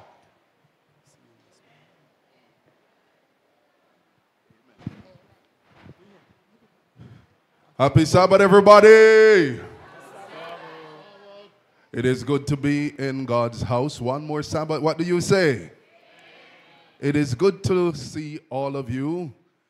We. I can't believe I see somebody sleeping already, you know. Touch the person next to you and say, Rise and shine, for your light has come. This is the day that the Lord has made. Let us rejoice and be glad in it. Amen. Yes. So, some, so, so it's not the preacher that puts some of us to sleep. Some of us come with our sleep from our home to the house of the Lord. I, I, I trust that even if we are weary, because I know sometimes we really had a rough week, and uh, you know, sometimes the sleep gets the better of us, but I trust today we will not miss any of the blessing that the Lord has in store for us. You are looking so good from no hair to dark hair to gray hair. God is good from straight nose to broad nose to lean nose. Oh my, you are looking good. And from long hair to short hair to wig, you are looking good just the same. I am glad to welcome you, and I'm glad that I'm greeting you in no other place but in the house of the Lord. I want to extend my, my joy for those who are celebrating birthdays, and I'm most glad that they are born again, born in the kingdom of God, and I pray they will press on to receive that special reward. And then I want to commend all those, all the this cell group initiative from all different corners in this community. The Advent trumpet is being blown. Amen. In different areas as you move around, it's good to see the brethren assembled in small groups, and the echo of that special message is going out. He that hath an ear, let him hear. I trust that we will participate, brethren. And not only, as the lesson tell us, like the, the early saints, not only be those who preach, but live the word by God's grace. I trust today that we will all be richly blessed. I want to welcome, along with the rest of us, my friends who have dropped in from St. Thomas, coming to Olympic Way for the first time. The, the husband and wife, uh, their name is Bedward, right? You know there was a song about Bedward, right? Okay, but uh, these, these, these, they said, I don't know if they are related to him, but, but, but they are my good friends. And I trust today as they share in our worship, they will be blessed by the Olympic way experience at the feet of Jesus. I trust today, brethren, God will bless us. Let's remember the different initiatives that are coming up. And I want to encourage the men. Men are a scarce commodity in universities. In fact, in, in many places of excellence and eloquence, men are short. And men are short in the church as well. I want to encourage those who are here. There's an initiative that is coming up for all of us as men. Let us put it on our schedule and plan to be there so we can be nurtured. And wives, sometimes we understand how things have to go. You have to tell your husband what to do. You have to direct him in the way he ought to go sometimes. Am I not talking the truth here? Oh, I don't hear the wife saying anything. They're very quiet. All right. Don't, don't let us know that is you rule him. All right. Keep it, keep it, keep it, keep it quiet there.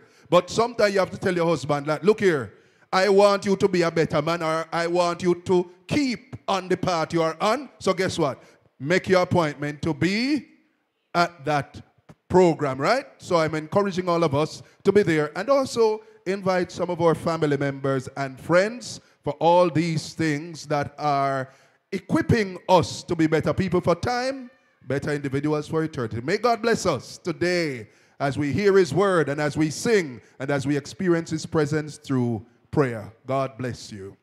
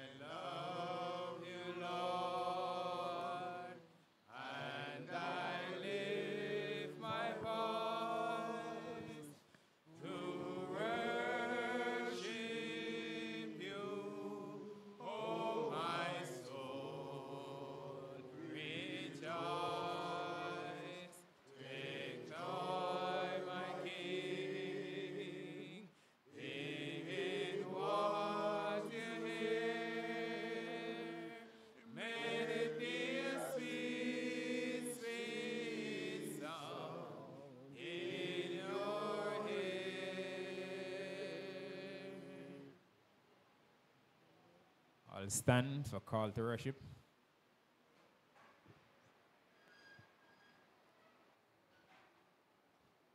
For our call to worship, we will turn to the book of Romans, chapter 8, verses 34 to 39.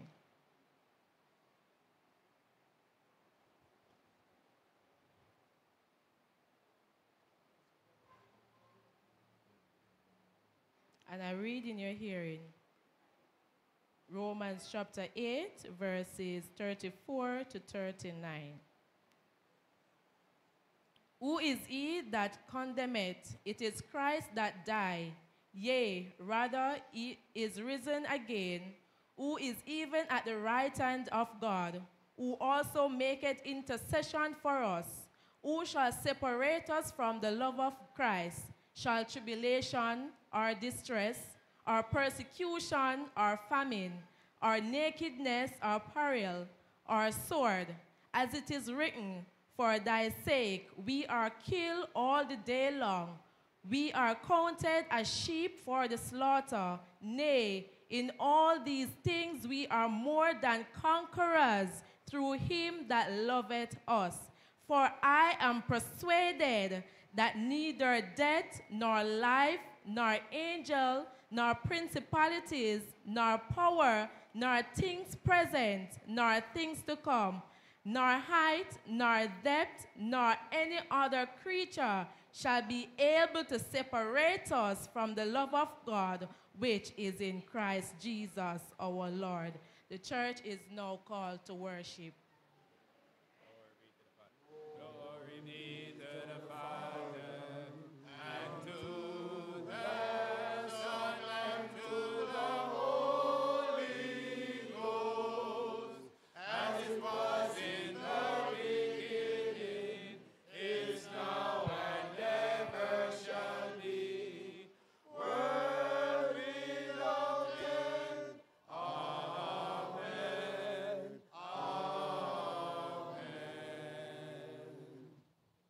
Shall we pray?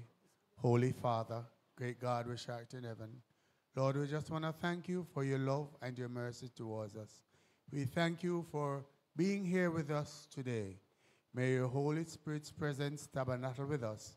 May we, may we receive the blessing we stand in need of, we pray. Through Jesus Christ, our Lord, we beg with thanksgiving. Amen. Be seated, please.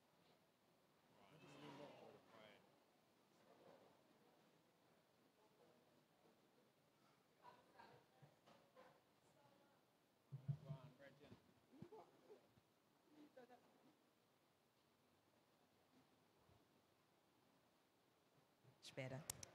Happy Sabbath, church. Okay, God is good. Would the congregation please stand?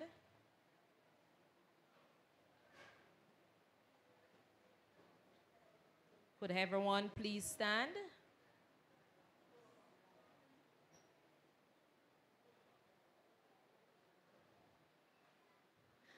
And I want you to do something for me. Take a look at each other. Look how beautiful you are. Look around, look at each other. Look how beautiful you are. Now, I would like all the members of the Olympic Way Seven Day Adventists to be seated. All members, please be seated. Wonderful. We have some visiting friends, man. We see, see some little visiting friends among us. We have some little visiting friends. Could my little visiting friends please stand? If you are not a member of the Olympic Way Seven Day Adventist Church, please stand. Look at our beautiful flowers. No, I would like everyone to turn around and look at our beautiful guests who are among us in our midst today.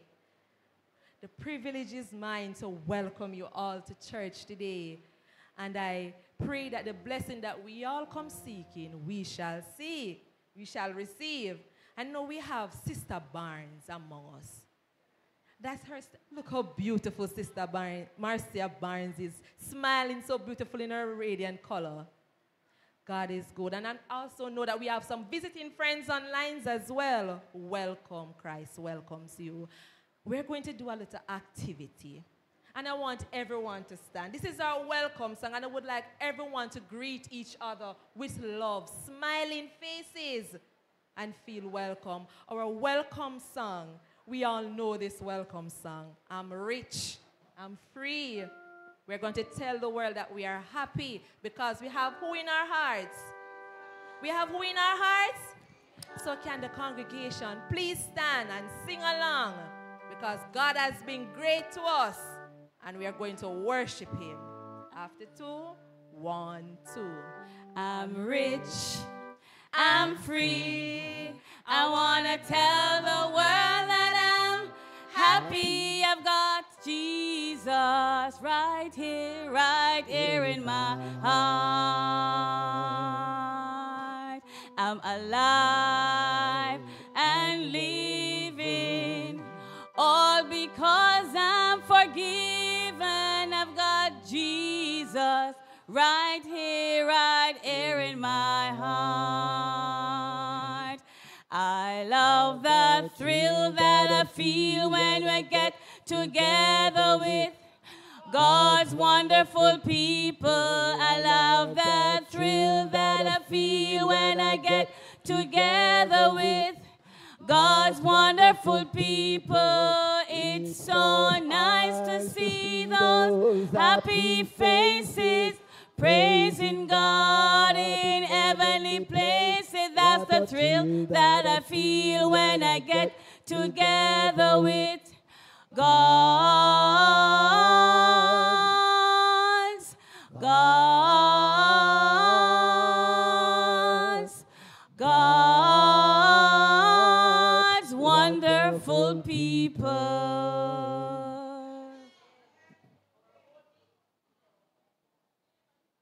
opening hymn will be hymn 213. Hymn 213.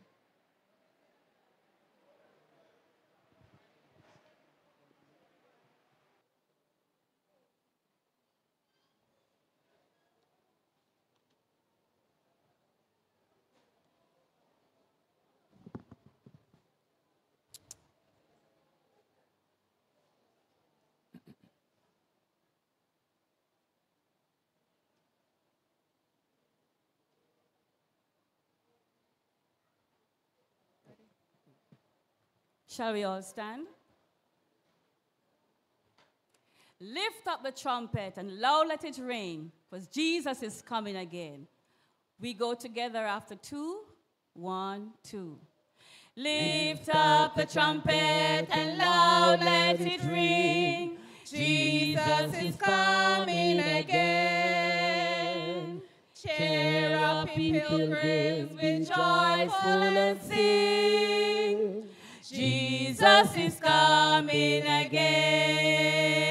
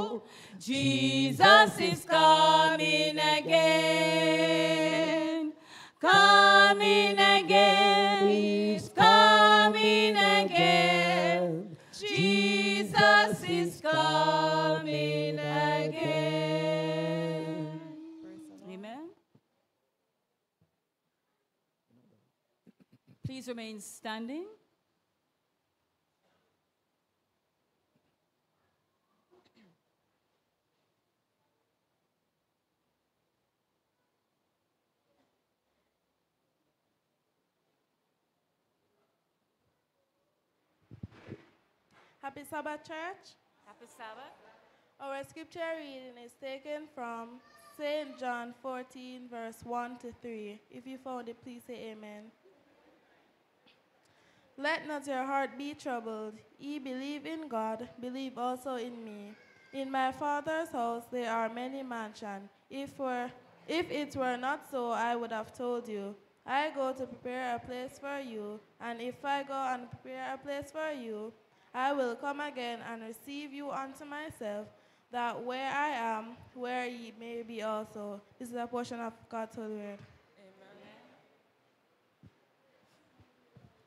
Now, dear Lord, as we pray, take our hearts and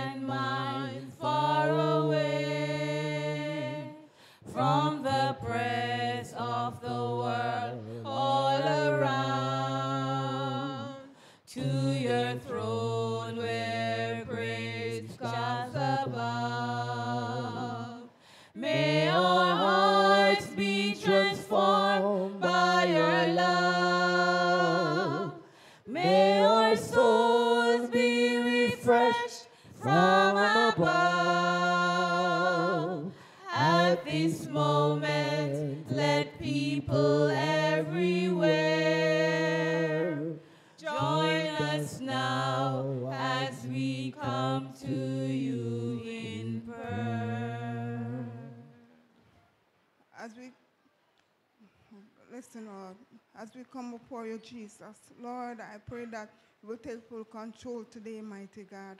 Lord, I place your people today in the congregation in your hand, mighty God. Lord, remember our pastor, oh God, Terrell. Oh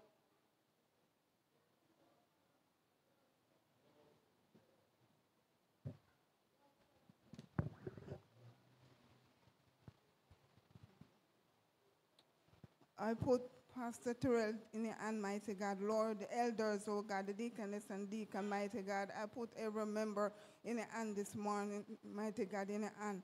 Lord Jesus, I pray that you will visit each and every us. Remember the sick among us, oh my God. Mighty God, Lord Jesus, remember the speaker, oh God, today, Lord Jesus, as she come, mighty God, Lord Jesus, let's say be slain, oh God, and that you will be in her, mighty God. Lord Jesus, I pray, mighty God, that will take full control one more time again, Lord, and we tell you thanks in Jesus' precious name we pray. Amen. Your prayers,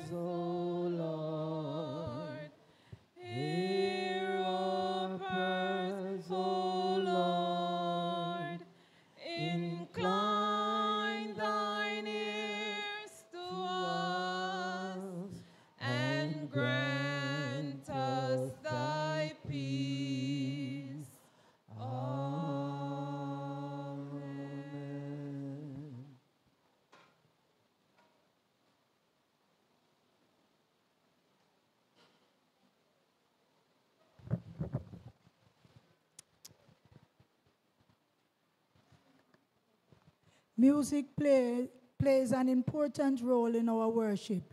And at this time, we'll, uh, we'll have to sing for us Sister Diane Litchmore Clark.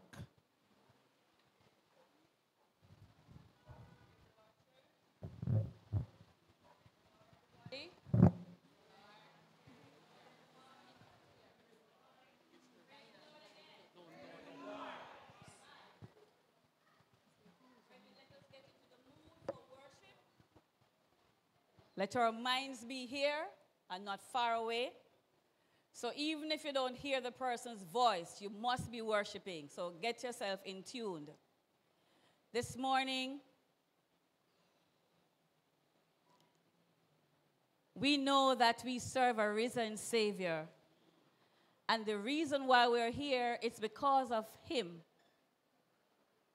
God sent His Son Jesus to die for us. And that's the story we want to hear. The song says, I'm tired of hollowed sounding words because sometimes we hear so many different things persons coming to us with so many news. That's not what we really want to hear. Let us focus on Jesus because he died for all of us. And he's a reason for our praise. I'm tired of hollowed sounding words. I'm tired of empty promise. Could someone sing a simple song of Jesus'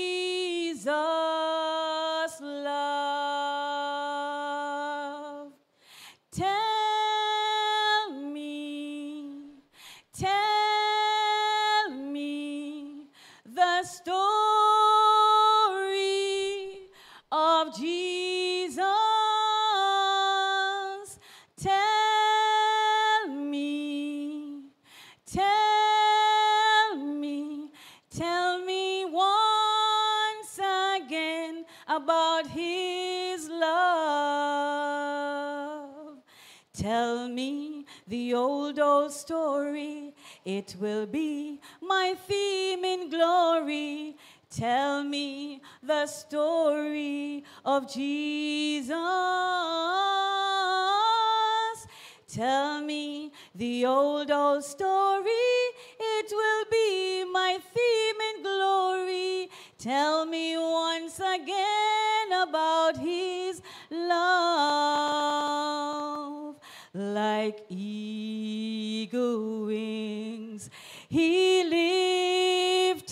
us up above the world around us like cool, refreshing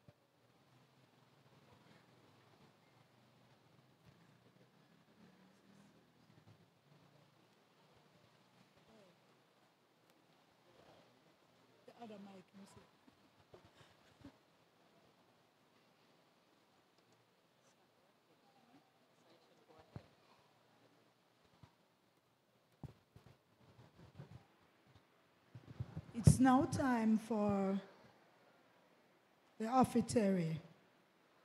Ellen G. White says those who think that they can be good Christians and close their ears and hearts to the cause of God for their liberalities are in a fearful deception.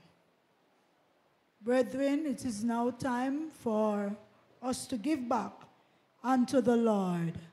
And the deacons will now stand in their places. I'm just asking them to come, stand, come forward, and the congregation also to stand as we pray for the days. Deacon and deaconesses, I'm sorry, um, for the, the days offering. Let us pray.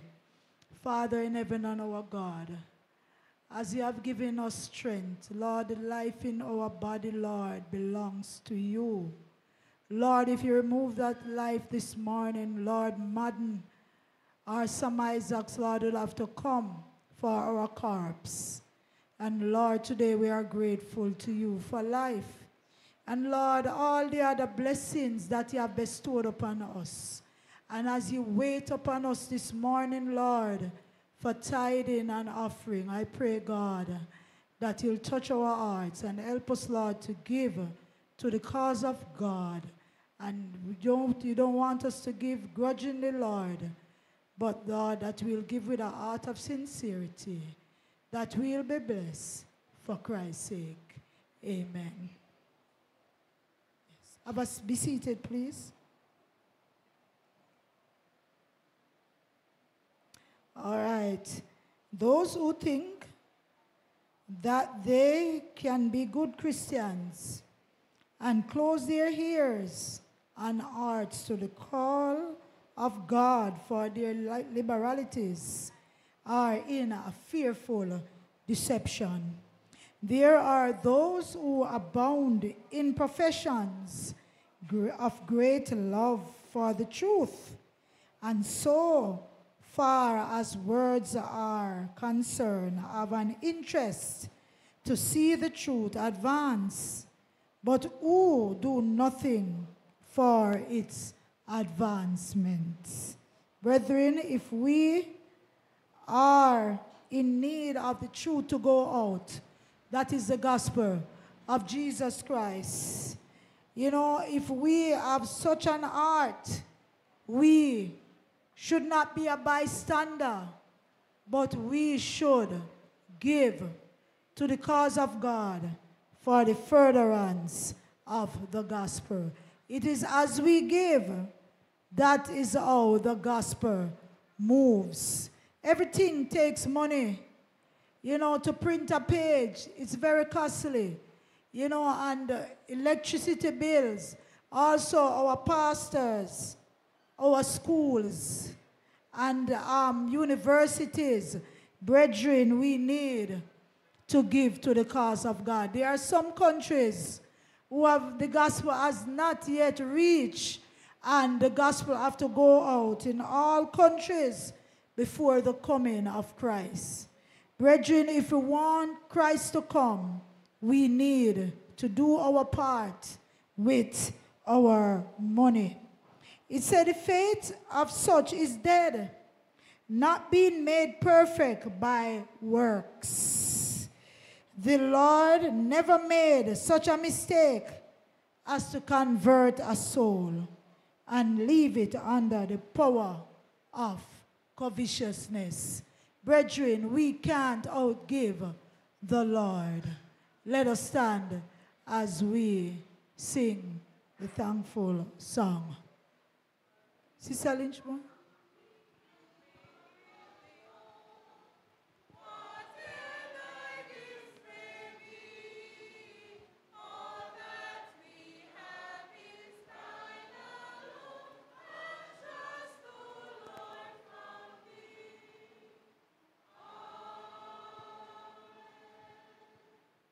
Amen. You may be seated. All right, it's now time for the feeding of the lamb.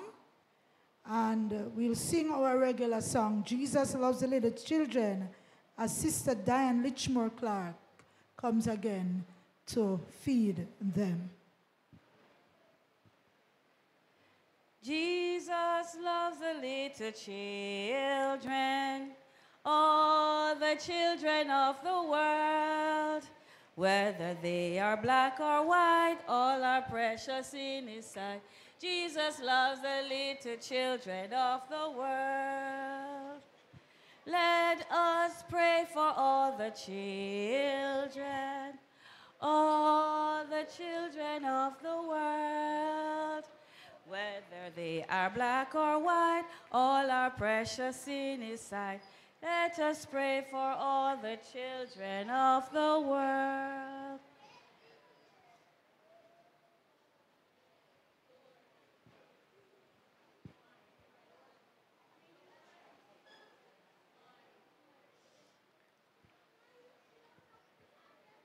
All right, everybody, boys and girls, it is time for your story, so we're not going to be drinking right now, okay?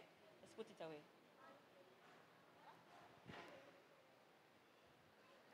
Sit over there.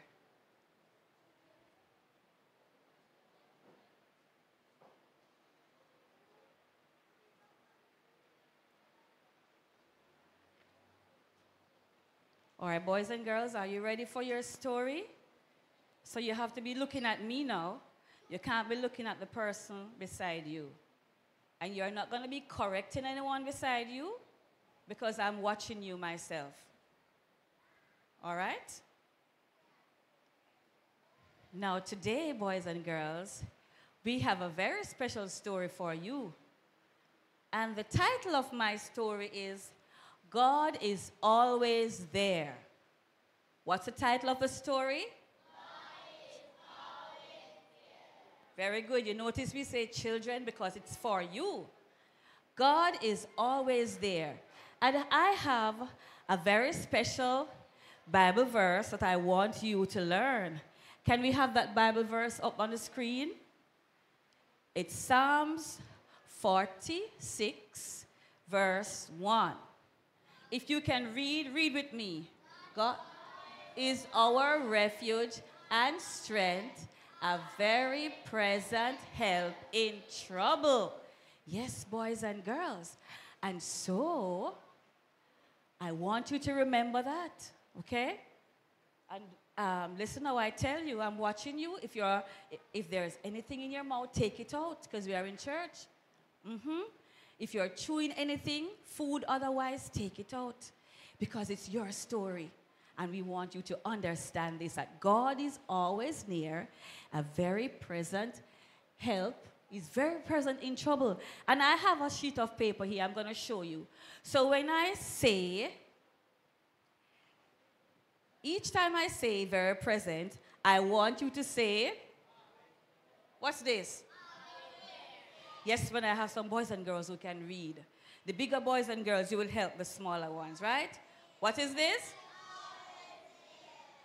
God is present. Very good. Let's practice. God is present. Right. He's always there. And so, have you ever felt alone before? Have you ever felt afraid? All right, I don't want you to answer yet. I will tell you when you're going to answer because I'm going to indicate to you or I'm going to tell you to raise your hand.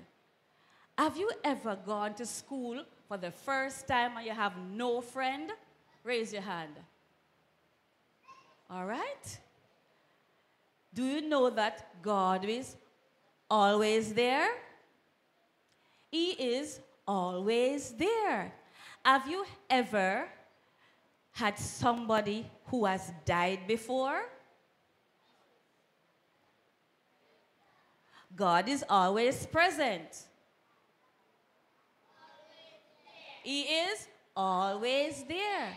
So, boys and girls, it doesn't matter what problems you have at home, at school, even when you come to church, if you feel that you are new and you have no friend, remember God is always present.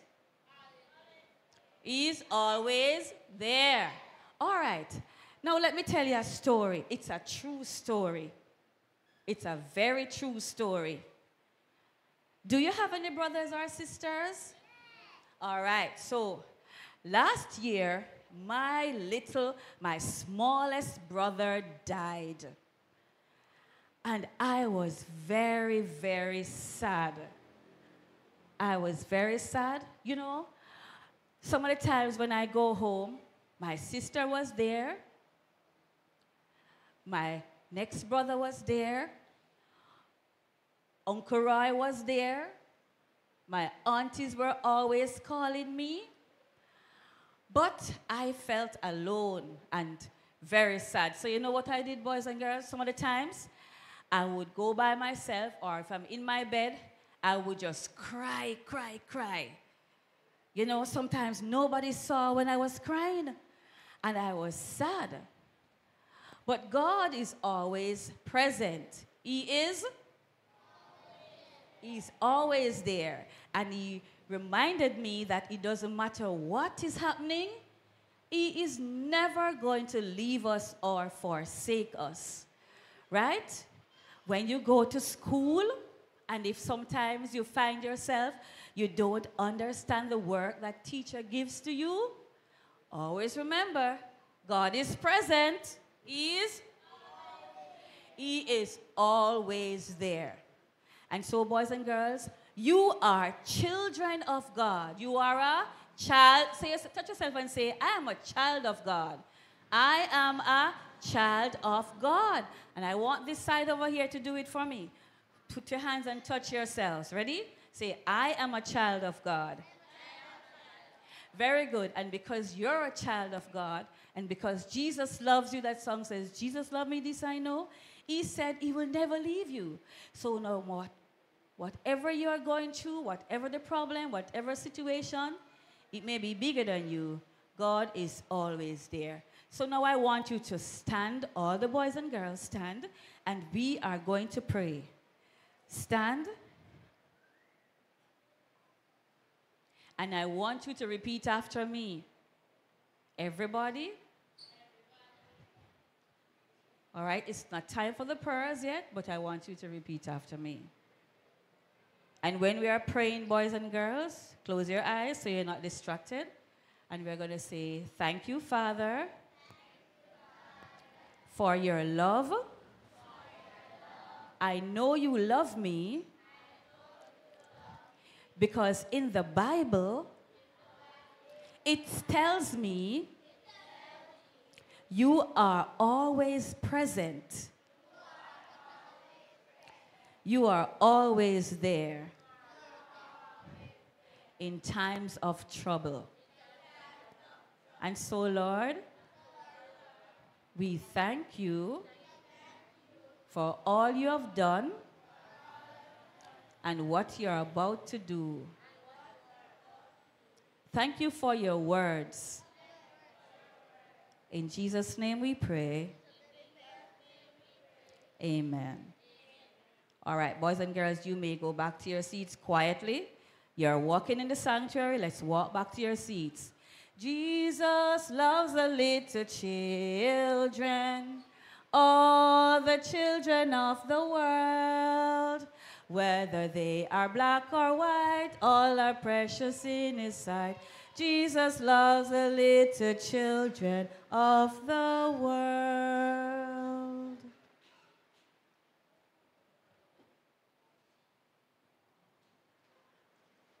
At this time, we are going to be singing hymn 505. I need the prayers of those I love. Let us all stand. And can we have that song on the screen, please? Hymn 505. Everybody everywhere, once you are able to stand, please stand. So at this time, we're going to be praying for the families beginning I, J, K, L. I, J, K, L. Surnames beginning with I, J, K, L. I need the prayers of those I love while traveling down life's rugged way, that I may true and faithful be and live for Jesus every day. I want my friends to pray for me, to bear my tempted soul above, and intercede with God for me. I need the prayers of those I love.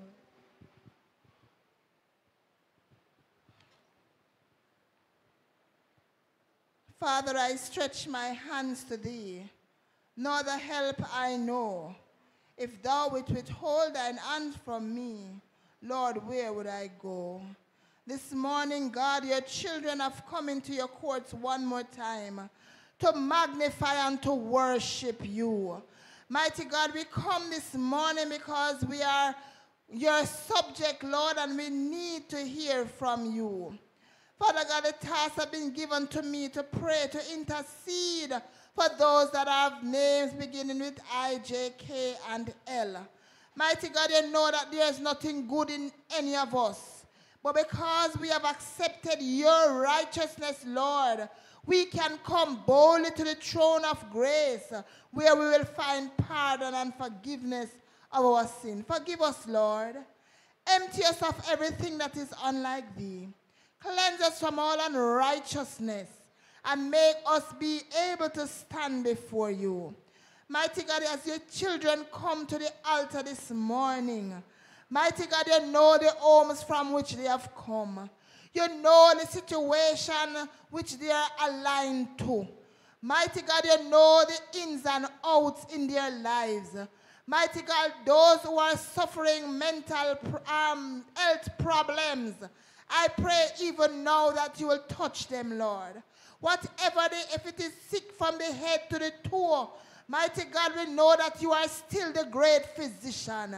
This morning, God, I pray that you will stretch forth your hands of mercy and you will touch each and every one that is in need of a touch from you so that you might grant healing because by your stripes, Lord, we are healed. Father God, some persons have financial problems.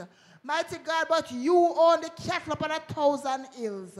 Mighty God, some, Lord God, have financial issues that they cannot even talk about.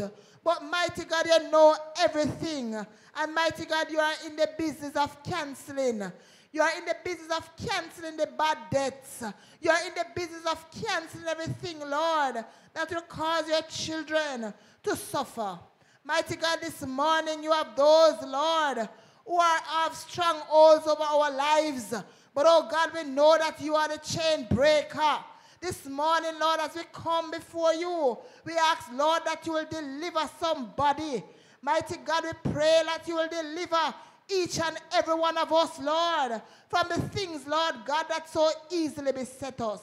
Mighty God, I pray that you will be with those with surnames from I to L. Mighty God, I pray that you will go to their homes and Lord God, you will set up your camp there and you will cause their Father their lives never to be the same again. We thank you, Lord, for them. We pray that you'll put an edge around them as you put an edge around Job. Almighty God, you cause your lives to be prosperous. I pray, God, that you will touch every aspect of their lives. I pray, God, that everything that the enemy has set up, you will mash it down even now. Because, Lord, we are in a warfare and the enemy wants to destroy each and every one of us. So, Lord, if we think that there's not something going on by the devil in our lives, we need to think again. Because his aim is to destroy us. But Lord God, we are so grateful that we are under the banner of Prince Emmanuel. We are under the banner of the, the, the, the lion of the tribe of Judah who can break every chain. So this morning, in the name of Jesus, we decree and declare over the lives of your children that they will be prosperous, they'll be healthy. Mighty God, they'll be well, they'll be fine in Jesus. I decree over their lives that their marriage is well. Lord God, I decree over their lives that their finances are well. I, I decree over their lives that the enemy will have no stronghold in their homes, in their workplaces. I pray, God, that you will touch them right now and that everything that has been declared, oh God, it will come to pass in Jesus' name. Amen and amen.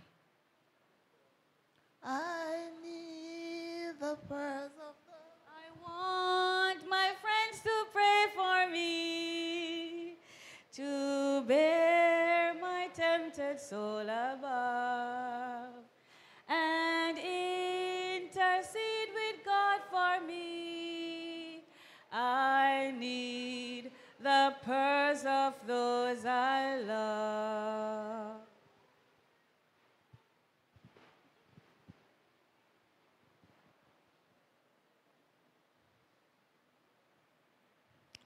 It gives me great pleasure this morning to introduce to us the person who will present God's word to God's people.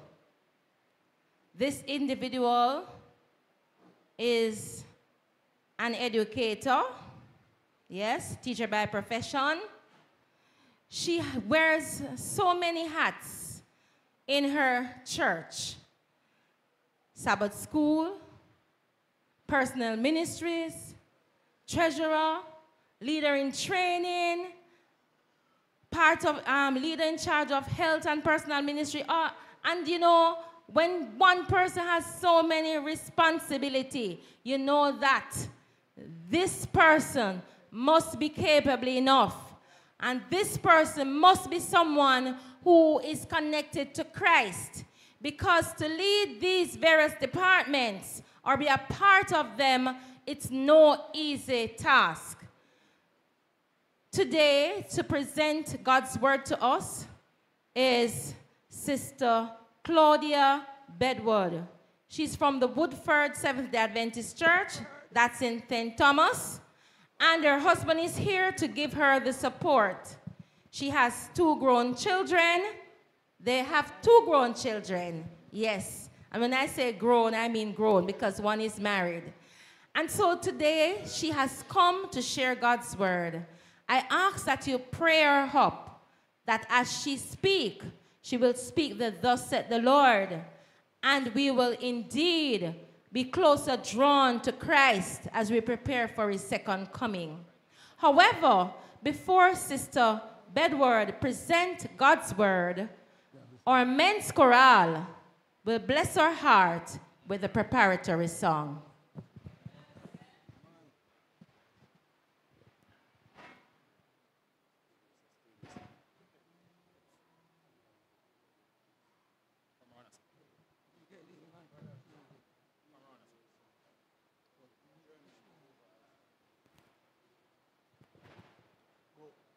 Don't hide, don't hide, um, thing there. Come up front.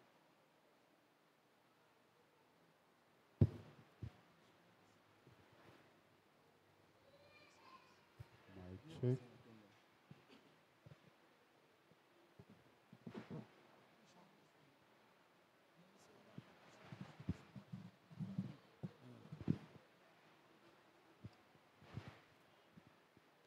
Oh,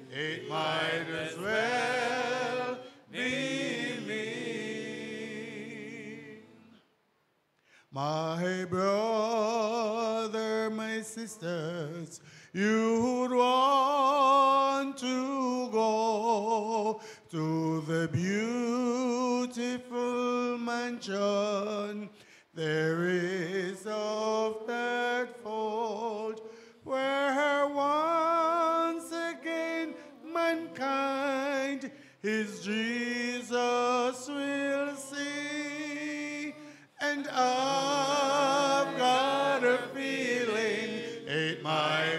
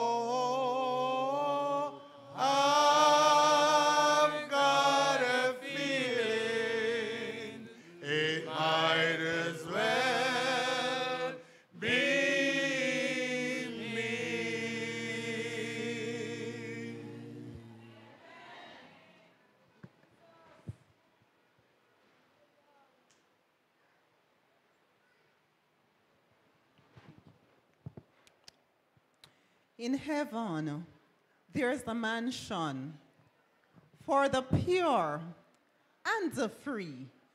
I have a feeling. Are you having that feeling uh, at this moment, family? I have a feeling. It might as well be me.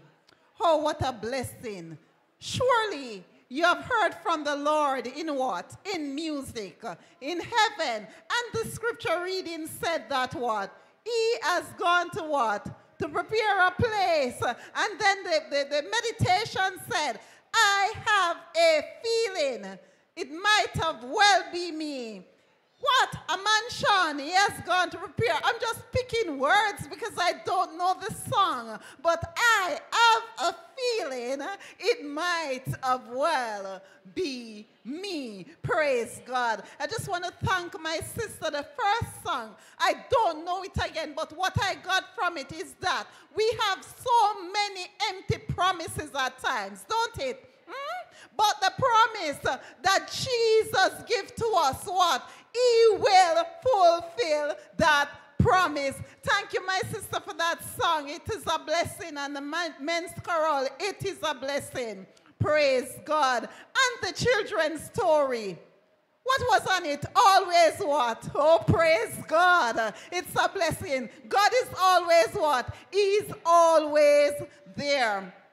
I just want to say to you, my family, that I, I am honored to be here. It's not anything good that I have done. I'm just an empty vessel. I'm a nobody. Remember that our righteousness is like filthy rags before God, want to be used by Him. So, whatever I'm going to present here today, you heard it before, right? You heard it before. But guess what? God loves us so much that He continues to warn us.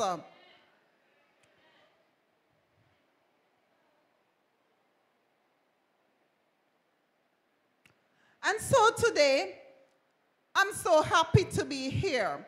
And the message come to us today from the Word of God. And if I should entitle it, I would say the words that you are expecting me to say I will come again. I will come again. And this is no empty promise. It is no empty promise.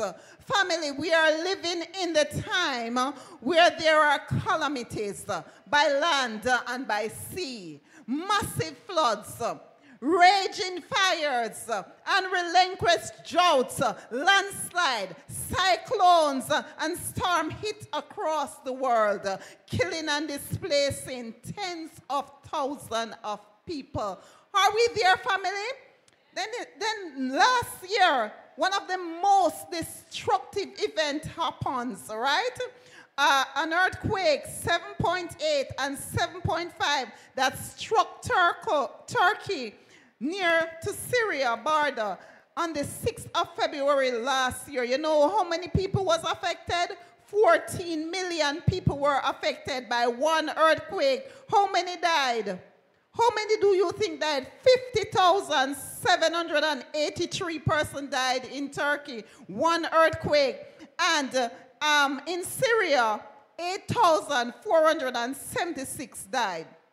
Right here, right now, in this year, we are hearing of calamities in the U.S. March 26.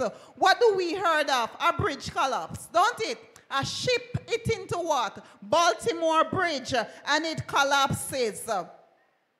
We know that this collapse can bring a lot of stuff spin off to the world, right? Because it will what? It will affect economic what? Economic? Right. And also it will affect supply chain, right? We can't get the goods and services that we need. These unsettled state of society, the alarms of wars, bold robberies, we are seeing that in Jamaica, don't it? Um, theft, murders are committed on every hand. Men possessed with demons, taking the life of others. Those who hold their reins of government are not able, they are not able to solve this problem, right? They are not able to solve this problem, okay? Are they? They try to find solutions. We can look in our own country, don't it? And we see what is happening. They use the what? The state of emergency here, there, and everywhere. And uh, so they go into Montego Bay and use it there. The criminal run to where? To St. Elizabeth. If they go out there, they go to somewhere else. They don't have a solution to the problem. Let us pray. Father in heaven, it's me again, Lord. It's me again. I am unworthy. I am undone. I shouldn't even be standing before your people. But at this moment, mighty God, I'm asking for a fresh anointing. I'm asking you, Lord, that you will touch me. I'm asking, Lord, that these words that your people hear over and over again will go forth today like a two-edged sword, cutting the hearts of your people so that we will be prepared to meet you when you return. This is my asking in Jesus' name. Amen. If we go to our scripture reading, it says, Let not your heart be troubled. He believed in God, believe also in me. And we know that it is Jesus saying these words, right? In my Father's house are many mansions. If it were not so, I would have told you. Here is the promise now. It said, I go to prepare a place for you. And if I go and prepare a place for you, I will come again and receive you unto myself, that where I am, there you may be also. I see my little boys and girls. Let us imagine. Let us imagine for a moment. Imagine your favorite city or your favorite town or where you would like to be in this life. Imagine a city without potholes, without traffic, without pollution or crime or any kind. The Bible tells us of a city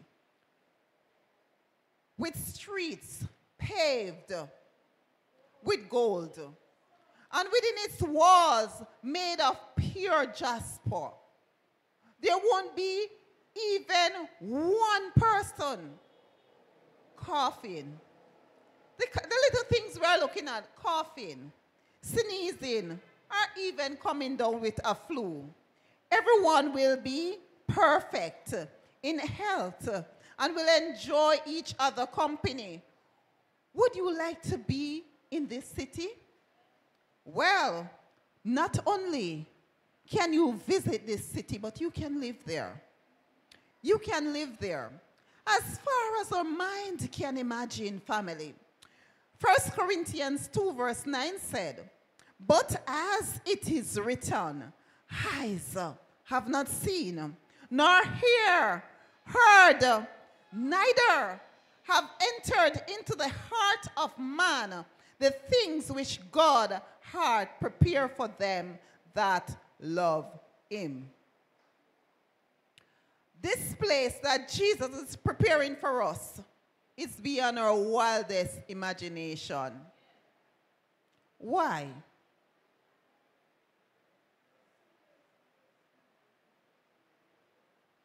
Why? Because the Bible said, eyes have not seen, right?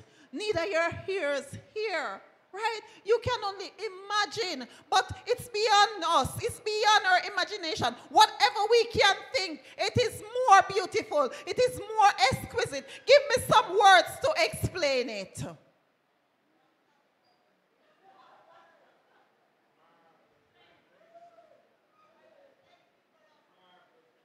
Amen. Praise God. We are nearing there. Do you believe it? We are nearing there. We are seeing, our eyes are seeing what is happening. But Jesus foretold us. Jesus outlined it in Luke chapter 21, verse 25 to 27. Jesus said the signs that would help us identify our place in this earth's history and know when we are approaching the end. What a loving God we serve. We wouldn't even know that we're living in the end of time with all of these calamities and all of these stuff that is going on if we weren't told. But we were told. Jesus said there will be sign in the sun, in the moon, and in the stars. And on the earth, distress of nation with perplexity, the sea and the waves roaring, men's heart failing them for fear.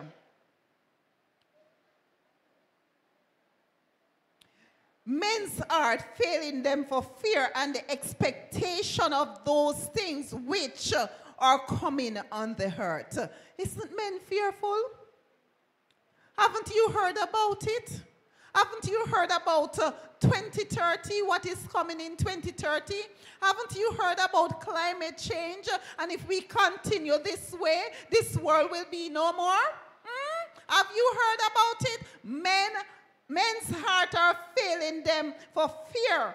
And Jesus continued to say, For the powers of the heaven will be shaken. Family, we feel, we see, we heard of all of these things. But let not what? Let not your hearts uh, be troubled.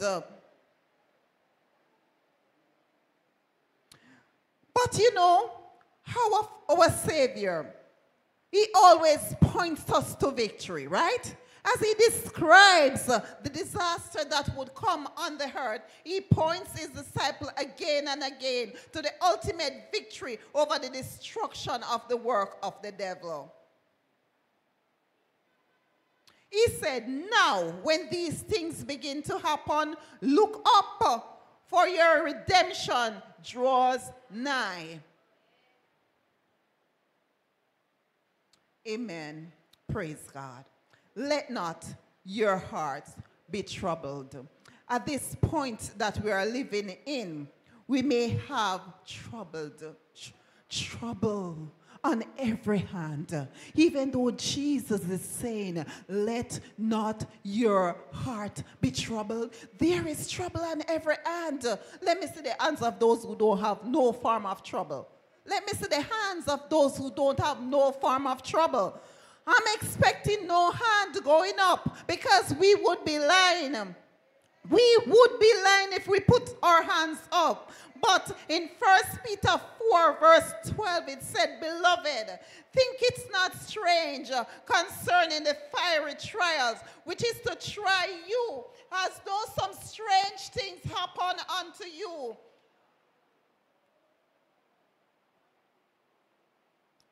Have you experienced strange things, strange things, strange, strange things? Huh? We think of the word strange. We're thinking of what? unknown, don't it? Unusual, weird things, abnormal, unexpected things. In a split second, it hit you by surprise, ain't it?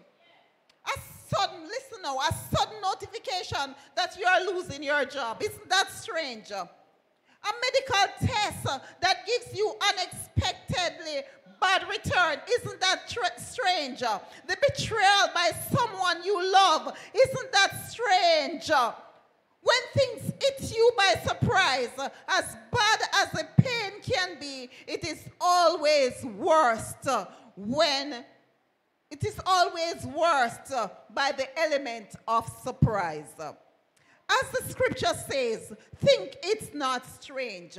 It is saying that these things should not be foreign to us. We should live uh, expecting uh, that the same path uh, Jesus and the apostles trod can be measured out to us because we are calling on the name of Jesus and as followers of Christ we must know that the enemy is wrought with us. How do we know that the enemy is wrought with us? He will want to bring surprises in our lives. So we may ask the question when surprises come. Some of us will ask the question, Why me, Lord? Why me, Lord? But why not you? Why not me? In the Word of God, we can find encouragement when we are asking, Why me, Lord? We can go where? We can go to the Word of God and we will find what? We will find encouragement. The Word of God said that the attacks of the devil may surround us we can find peace. Not ordinary peace in God's word, but a supernatural peace that only Jesus can deliver and that transcends any trials we may face. So this peace, this peace that Jesus gives to us will overcome, will surpass, will surpass any trials that we could ever face. Jesus then said, These things I have spoken to you, according to John 16 33. These things have I spoken to you, that in me you may have peace. What did Jesus say?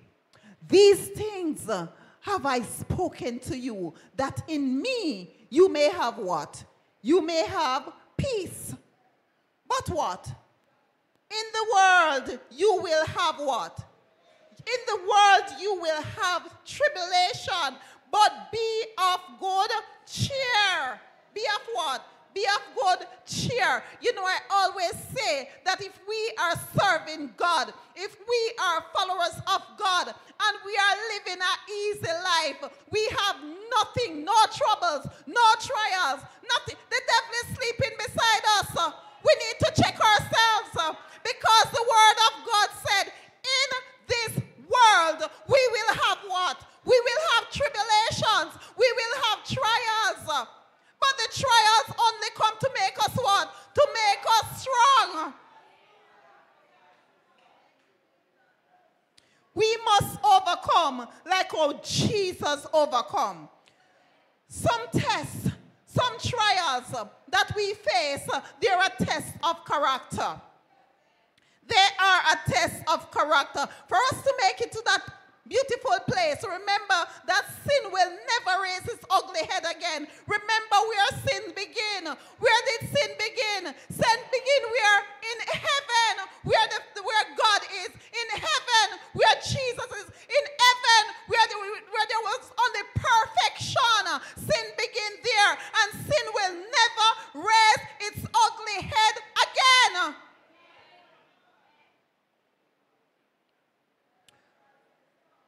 God calls Job to Satan's attention. So while Job and the merry way, you know, serving God, you know, God called Job to Satan's attention, right? To say, have you considered my, my, my, my servant Job? Look here. Job have no, absolutely no idea how his battle was going to get hot. Some of us don't even know what is awaiting us tomorrow. We don't know. We don't know, but we know who we can put our trust in, right? Say, though it is very clear that it was Satan, not God, who causes Job's suffering. Let us be clear. It was who? It was Satan, not God, who caused Job's suffering. It is clear that it is God who what? Who gives his explicit uh, permission for Satan to do what? For Satan to destroy Job's what? Possession. To do what? Children. And even his physical health. Because Satan went back to God and said, skin to skin. Right? When, when, when Satan realized that he, he, he um, Job overcome the test, he went back to put a little more pressure on Job. But praise God, Job did nothing wrong, and Job stood through his trials. He stood firm through his trials. Children of God, if you are murmuring, if you are complaining about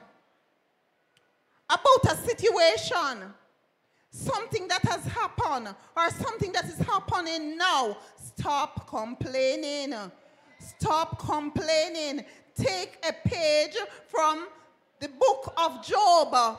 Have faith in God promises. He promised not to leave you. He promised to be with you always, even until the end of the world. Job testimony, as my husband always said, that if the devil didn't know that Job testimony would have strengthened so much of us, he wouldn't, he wouldn't bother test him. But praise God, Job's testimony is a tower of strength to some of us who are going through trials, some of us who are going through tribulation. It is a tower of strength for us. And we know that Jesus is uh, victorious, so we know that we will be victorious. He's saying to us today, let not your heart be troubled. Job believed in God's promises. In his, in his um, trials, he said, For I know that my Redeemer lives. Can you imagine this man? This is a man who has just lost all, all his children. This is a man who has just lost all his servants, all his riches, lost everything down to his skin, break out in sores. And yet still, what did he said? Yet still, Yet still, what did he said? He said, he said, but he said, for I know that my Redeemer lives, uh, and that he shall stand uh, at the latter days upon the earth. And though, though, though what? Though my flesh, uh, though my skins were destroyed, yet in my flesh I will see God. Praise God. Hallelujah. Praise God. You may be going through a painful trials. You are hurting. We are emotionally or physically. I am sure that someone can testify about a painful trial. It may not be as severe like Job.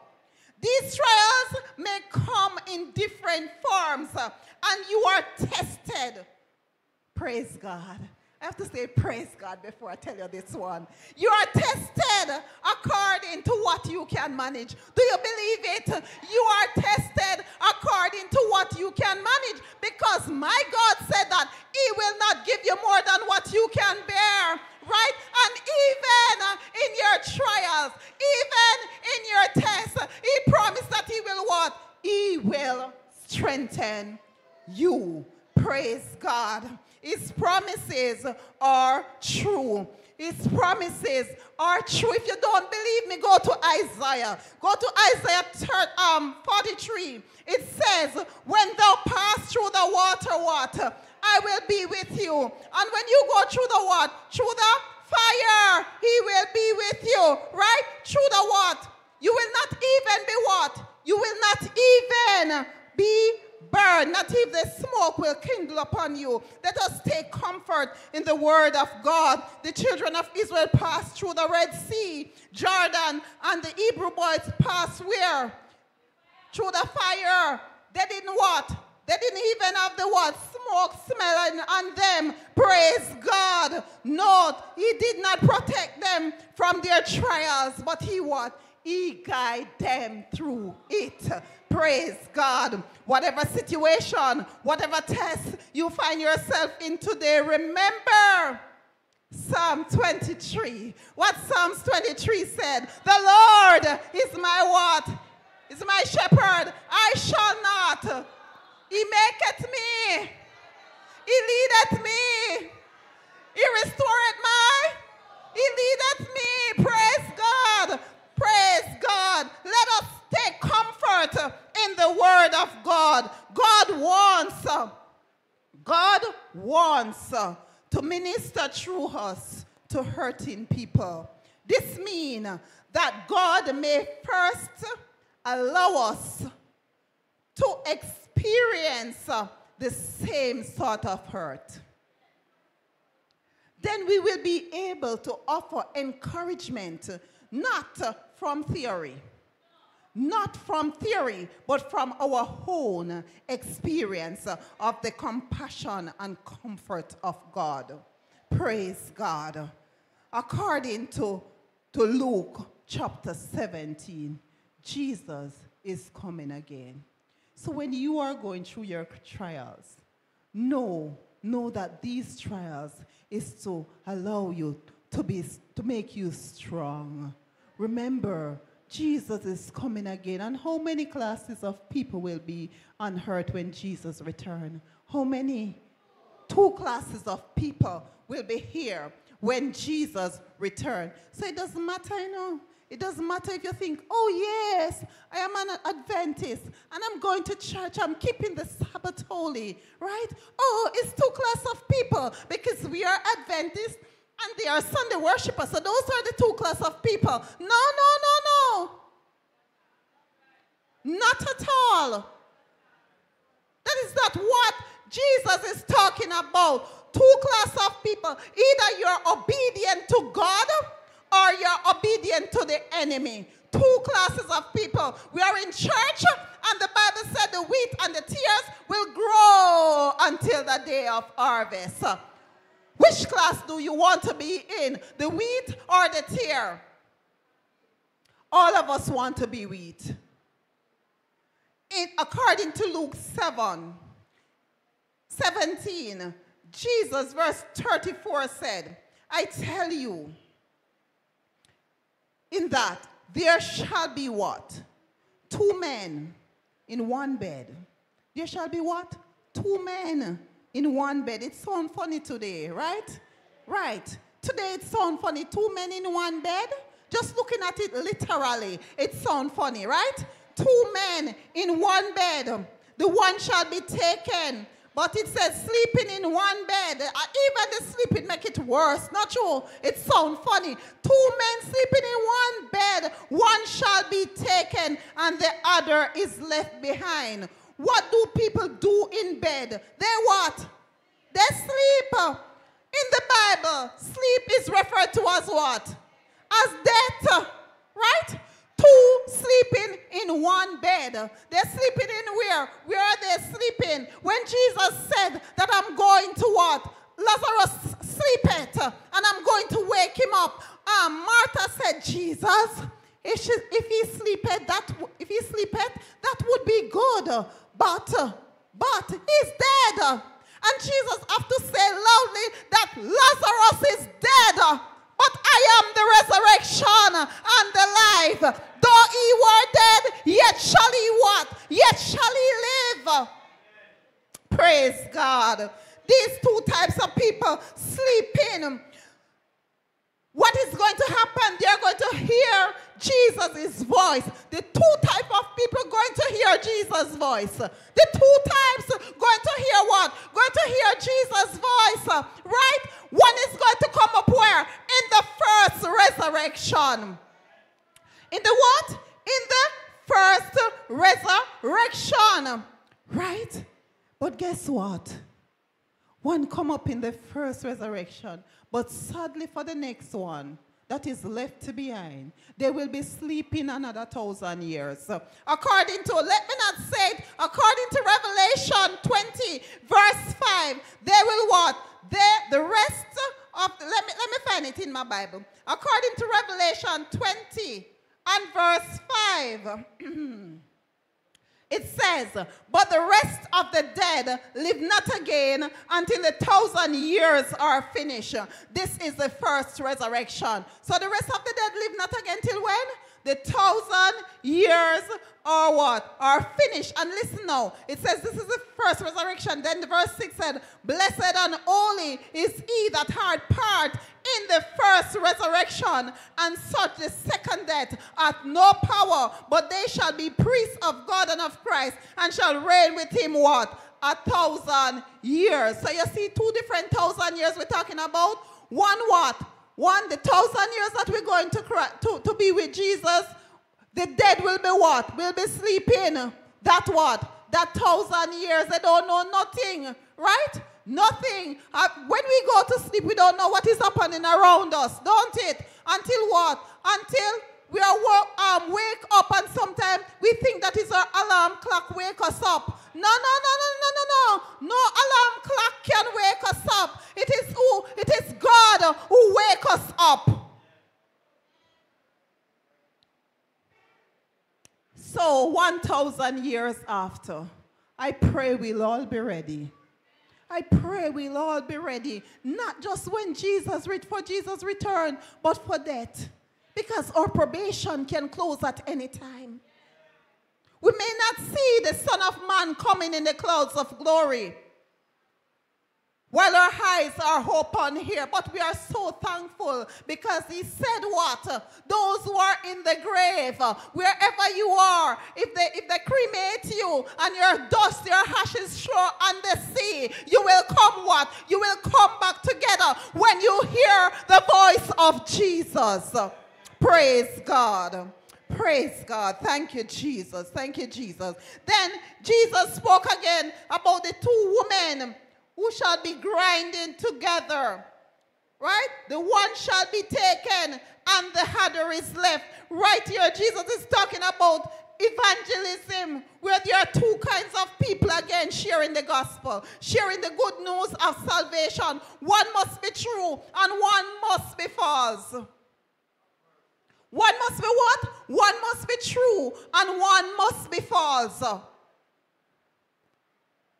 Then he spoke again about two men shall be in the field. The one shall be taken and the other left behind. In St. Matthew 13, verse 38, it said, The field is the world, right?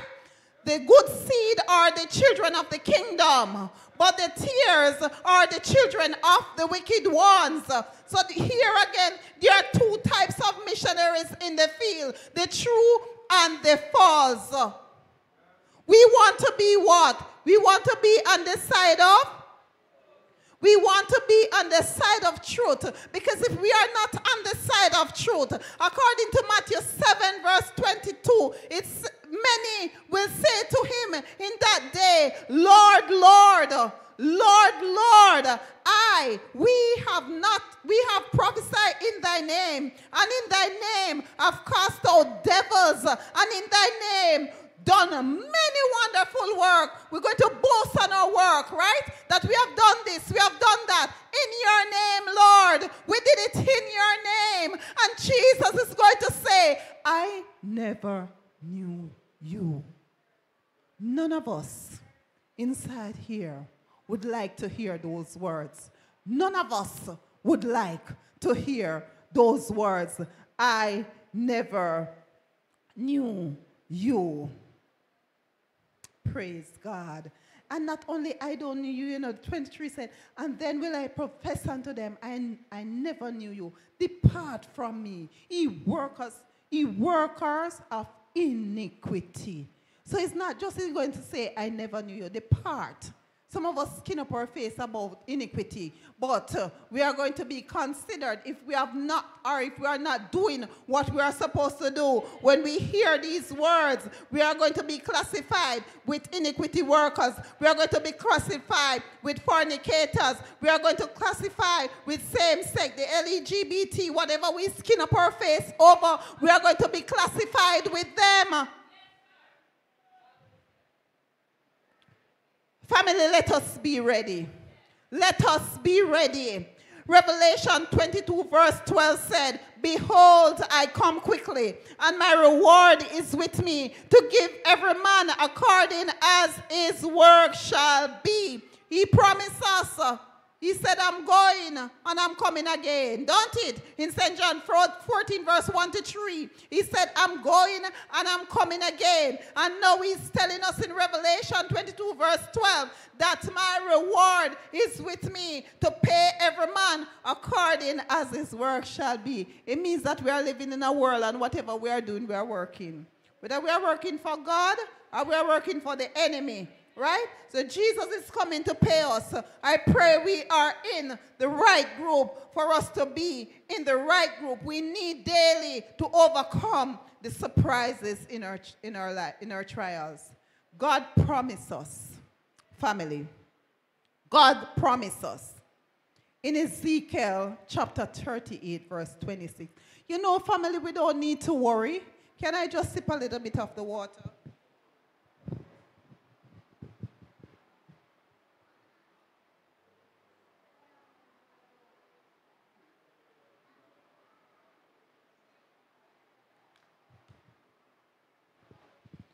We don't need to worry, family. We don't need to worry. God promised us. You know that God do everything that he can for us to be saved? What a, what a loving God. We don't know what love is, you know? We always say we love, we love, we love. And just one bad thing, we don't bother love again. You know how we prove that? When we go to the altar and we said for better or for worst, in sickness and in health, uh, what, what the other part? I don't remember the next one. Till death do us part, right? And uh, you know, when faults come, that love gone. Hmm? Hmm? But God said to us in Ezekiel chapter 36 and verse 26, a new heart also will I give you, and a new spirit will I put into you and I will take away that stony heart out of your flesh, and I will give you a heart of flesh. God promised us a new heart and a new spirit. When Jesus speaks of the new heart, it means the mind, the life, the whole being. For us to have a change of heart, it is to withdraw the affection or affection from the things of the world and fasten them on Christ. In Romans chapter 12, verse 2, it said, the Lord said, and be ye not conformed to this world, but be ye transformed by the renewing of your what? Of your mind, that ye may prove that uh, what is that good uh, and acceptable will of God. Uh, my family, our mind must be renewed. New minds, new purpose, new motives. Family, the sign of a new heart is a changed life. There is a daily, there's an hourly, dying to selfishness and pride. When our hearts are renewed, forgiveness will be easy. Selfishness will reduce. There will be no malice. And it will be easy to apologize if you have hurt a brother or a friend. A renewed heart uh, does not accuse the person who hurt us, but, uh, but look beyond uh, that person and see the enemy, Satan, trying to get to them. Therefore, a person who has a renewed heart will be happy to make it right with a brother, with a sister, with a friend, or with your leader, even when your leaders are very hard at you, you will what? You will uh, make it right with them. Is her heart renewed? That's a question we have to ask ourselves. Let us be sober. Let us be vigilant because our adversary, the devil, walks around like a roaring lion, seeking whom he may devour. Do you believe that? Why do you think there are two classes of people? Even as we are looking at Jesus' return, even as we have looked at the promise that Jesus said, I'm coming again, there are persons who have different concept of how Jesus will return. The enemy of soul may devour, may devour us by allowing us to put our own interpretation to scripture. But let us search the word of God, precept upon precept, line upon line, here a little and there a little. We know that Jesus is coming back.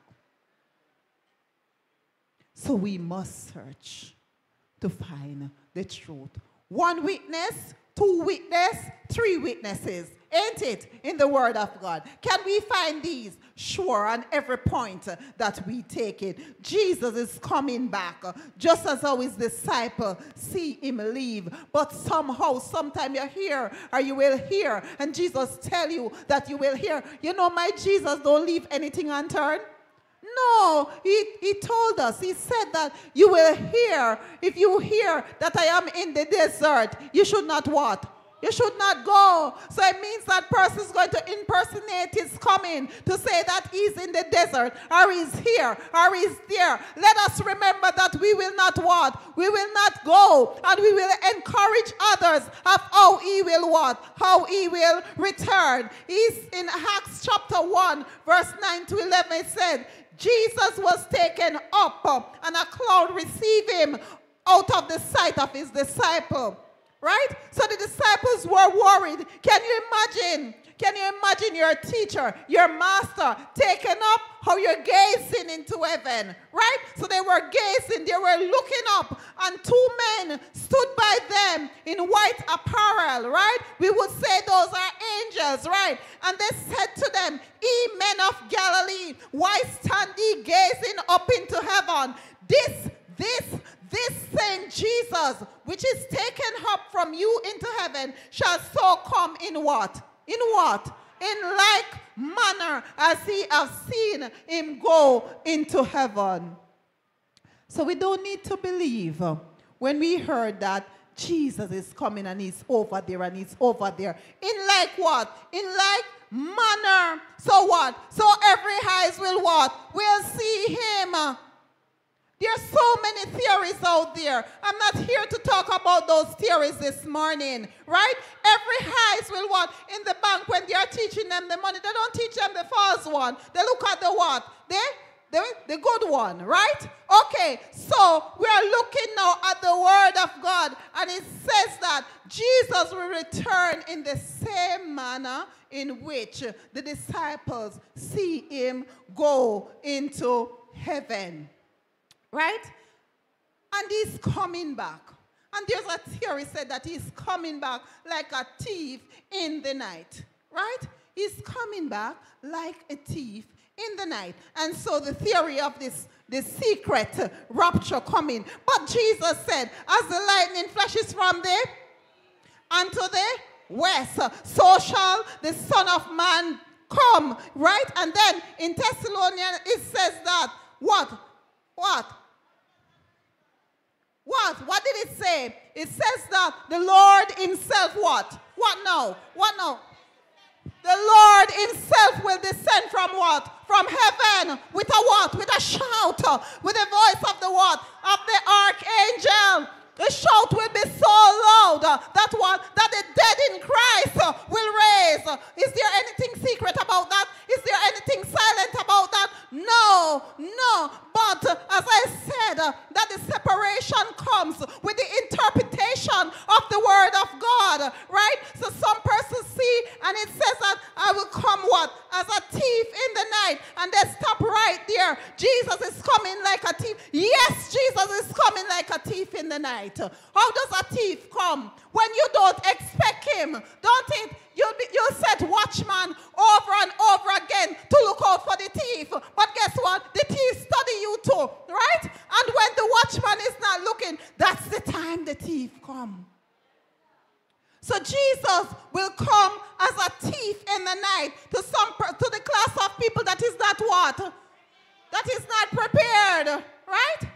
That is not prepared. And he will also come as a thief to all of us because we no man, no boy, no girl, nor the what, nor the day, nor the hour when Jesus will put in his appearance. Praise God. There's just one more point I need to just address before I sit down because I used to think about this too. You know, there's a theory, family, that says, and this is just reminder for, reminders for us as Adventists. I wish somebody out there could be hearing how they're hearing who don't know. There's a theory that says that when Jesus returned, we'll have seven years, right? And I normally said, because I must tell you that I'm not an, a born Adventist. I basically grew up in the New Testament church, so I know this theory, right?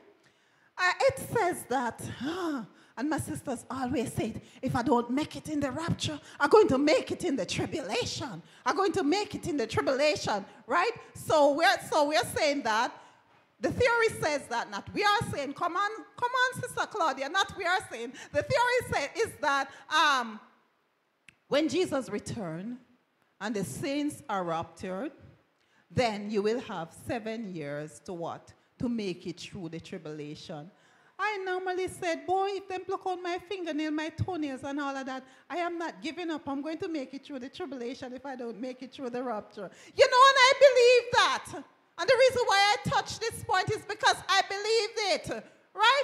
But guess what? Guess what? The tribulation upon when? Upon now. While we are alive, it happens what? Now. Because when Jesus shall return, he said, Behold, I come quickly. And what? And my reward is with me to pay every man according as his work shall be. There'll be no second chance. You must be ready now. There'll be no tribulation when Jesus return. It is a lie from the pit of hell. If we look at the Bible, if we look, if we look at some stories in the Bible, Noah was saved through the flood, not from it, right? Um, if we go again, Job was saved through his crisis. Did God take Job out of the tribulation? No. Job was saved through his crisis. Joseph was not saved from being sold into slavery, but God saved him through it. What a mighty God we serve. What a mighty God we serve. We don't, if we are lost, if we are considered wicked, then we have nobody to blame but ourselves. Nobody to blame but ourselves. Daniel was saved through what? Through the what? Through the lions. Then um, the three Hebrew boys I mentioned before was saved through the what? Through the fire. The children of Israel were not saved from Egypt before the plagues. Wow. All of those plagues, uh, they fell when the children of Israel were what? Were in Egypt. uh, And God did what? Uh, God did protect them.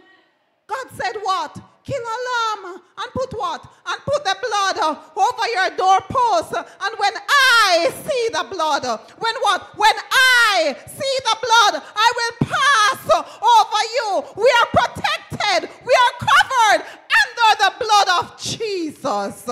Hallelujah. Praise God. Thank you, Jesus. Praise God. Thank you, Jesus. In closing, in closing, family, let us remember the word of the Lord. It says, I go to prepare a place for you. And I, I, this same Jesus will come again and receive you unto myself, that where I am, there you may be also. Let us, let us remember that we must go through some form of what? Some form of trials. When we are going through trials, family, let us remember the promises. You know, this song always come to my mind from I was a teenager going to Sunday church. This world is not my home. I'm just a passing through. My treasures are laid up somewhere beyond the blue. The angels beckon me from heaven's open door, and I can't feel comfortable. I can't feel at home. I must not feel at home. We must not feel at home.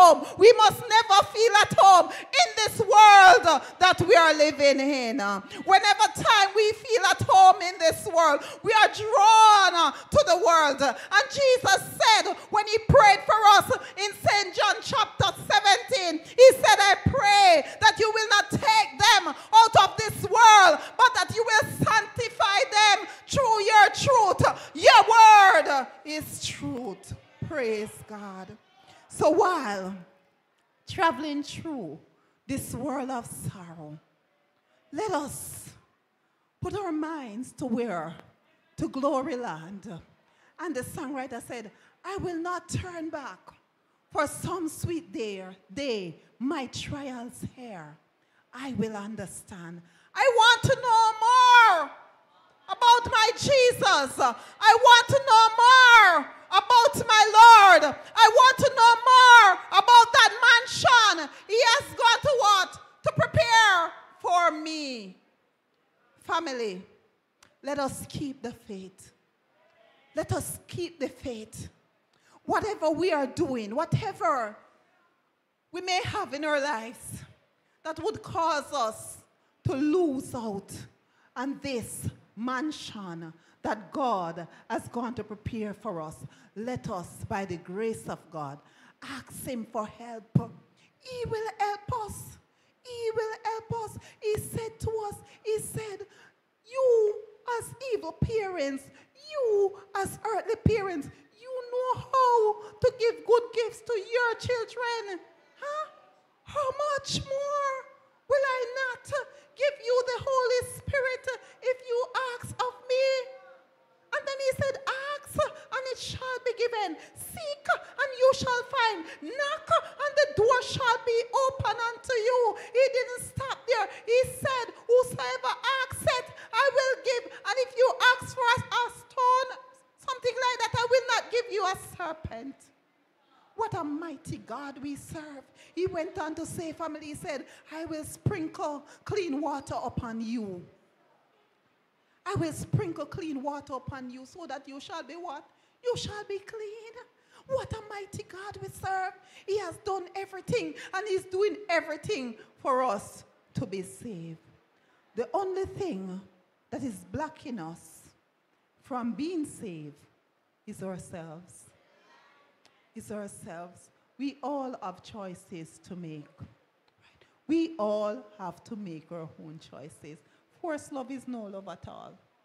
Right? Forced love is no love at all. And so we have, as we say, two classes of people in the world. It's two choices, right? One, God, or the other, the enemy, which is the devil. If you are in between, if you are on neutral, right, you know the car, you put it on neutral so it can run back or front, right? If you're on neutral, then whose ground you're on? The devil ground, right? If you are neutral, you're on the devil ground. So don't think that, oh, yes, I am good, and I'm this, and I'm that. And at the same time, you have some darling sins that you are covering up. You are on the devil's side. So let us, by God's grace today, ask Him to come into our hearts, to come into our life, to cleanse us. You remember Isaiah? You remember Isaiah? It says in the year that one, King Uzziah died. I saw, I also saw the Lord high and lifted up, uh, and his trail filled the temple. And when Isaiah saw it, Isaiah said, Whoa, am I? I'm sinful. I am undone. The songwriter said, The closer you get, the closer you get, the more you see the glory. The closer you get to God, the more you will feel unworthy, the more you will feel undone. Let us, by God's grace, family, let us, by God's grace, make it in to that place that God has gone to prepare for us. God bless you.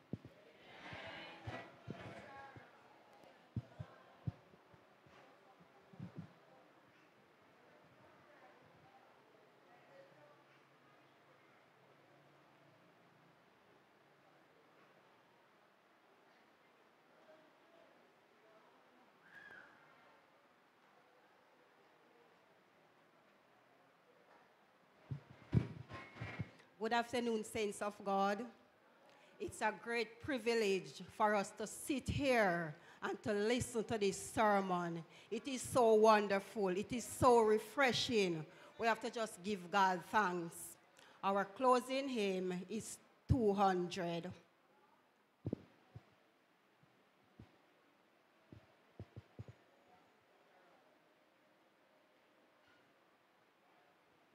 I, I can't sing, but it is sing too. Let me let me try. The Lord is coming, let this be the herald note of jubilee. And when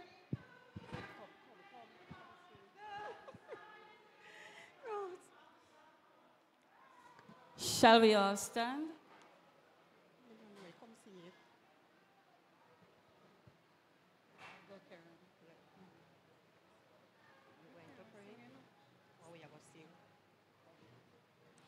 The Lord is coming, let this be the herald of jubilee. And when we meet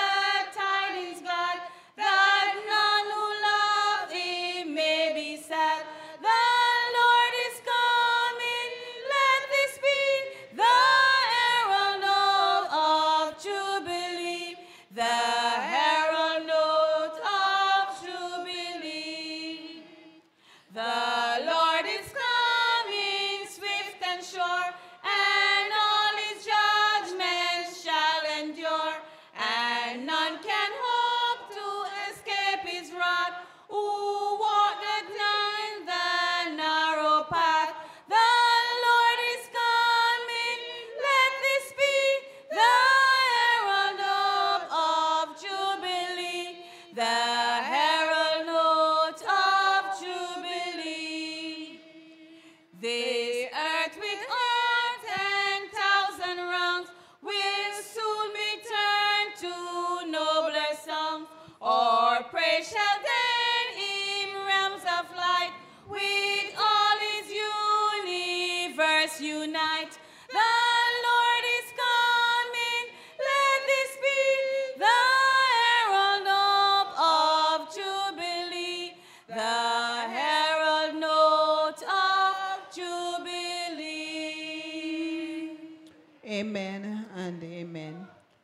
one um, quick call for prayer.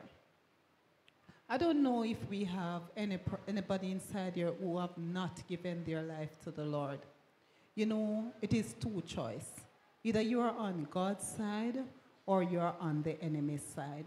Remember, you don't know what the next minute of your life will be. You don't know if when you leave outside, you don't know if this is your last opportunity. And I'm not saying this to frighten anybody. So at this time, could you walk to the altar for prayer?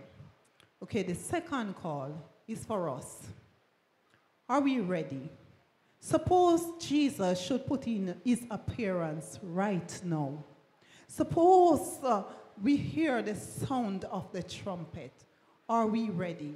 If we can say, yes, we are ready, sit in your seat. If not, join me at the altar. Let us pray.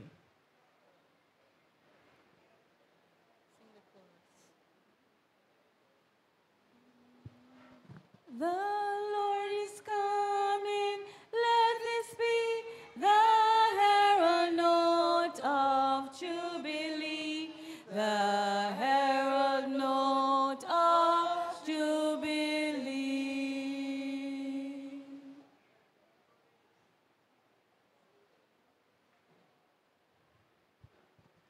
Our God and our Father, King of kings and Lord of all, conquering lion of the tribe of Judah.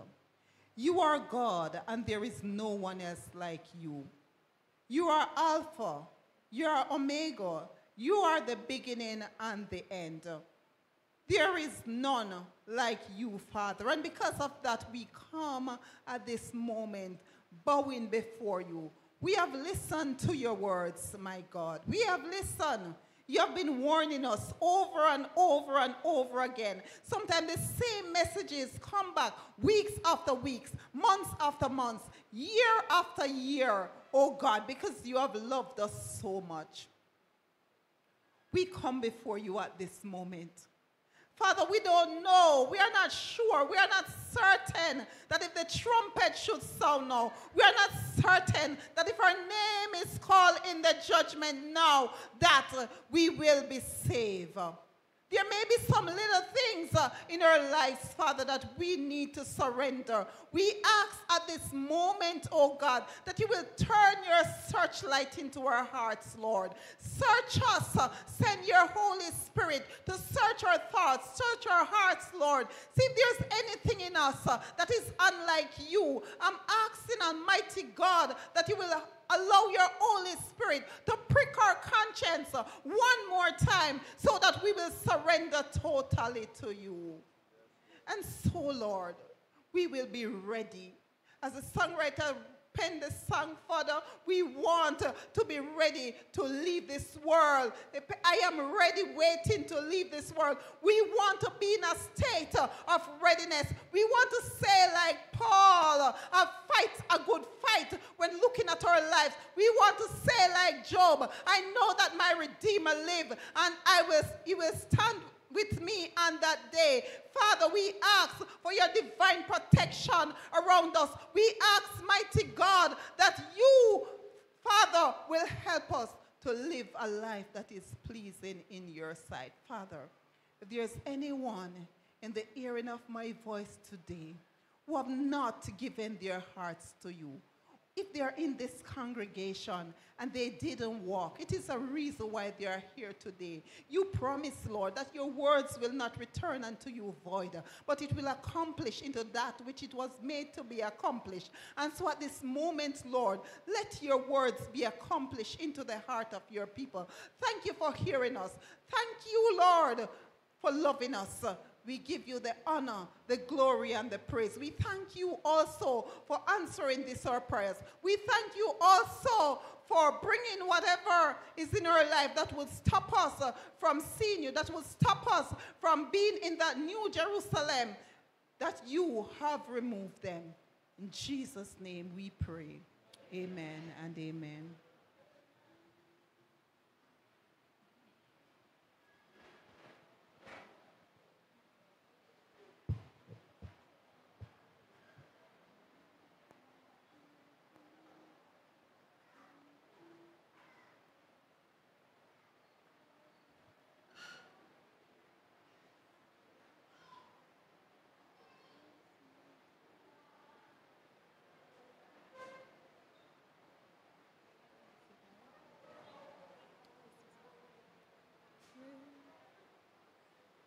dismay.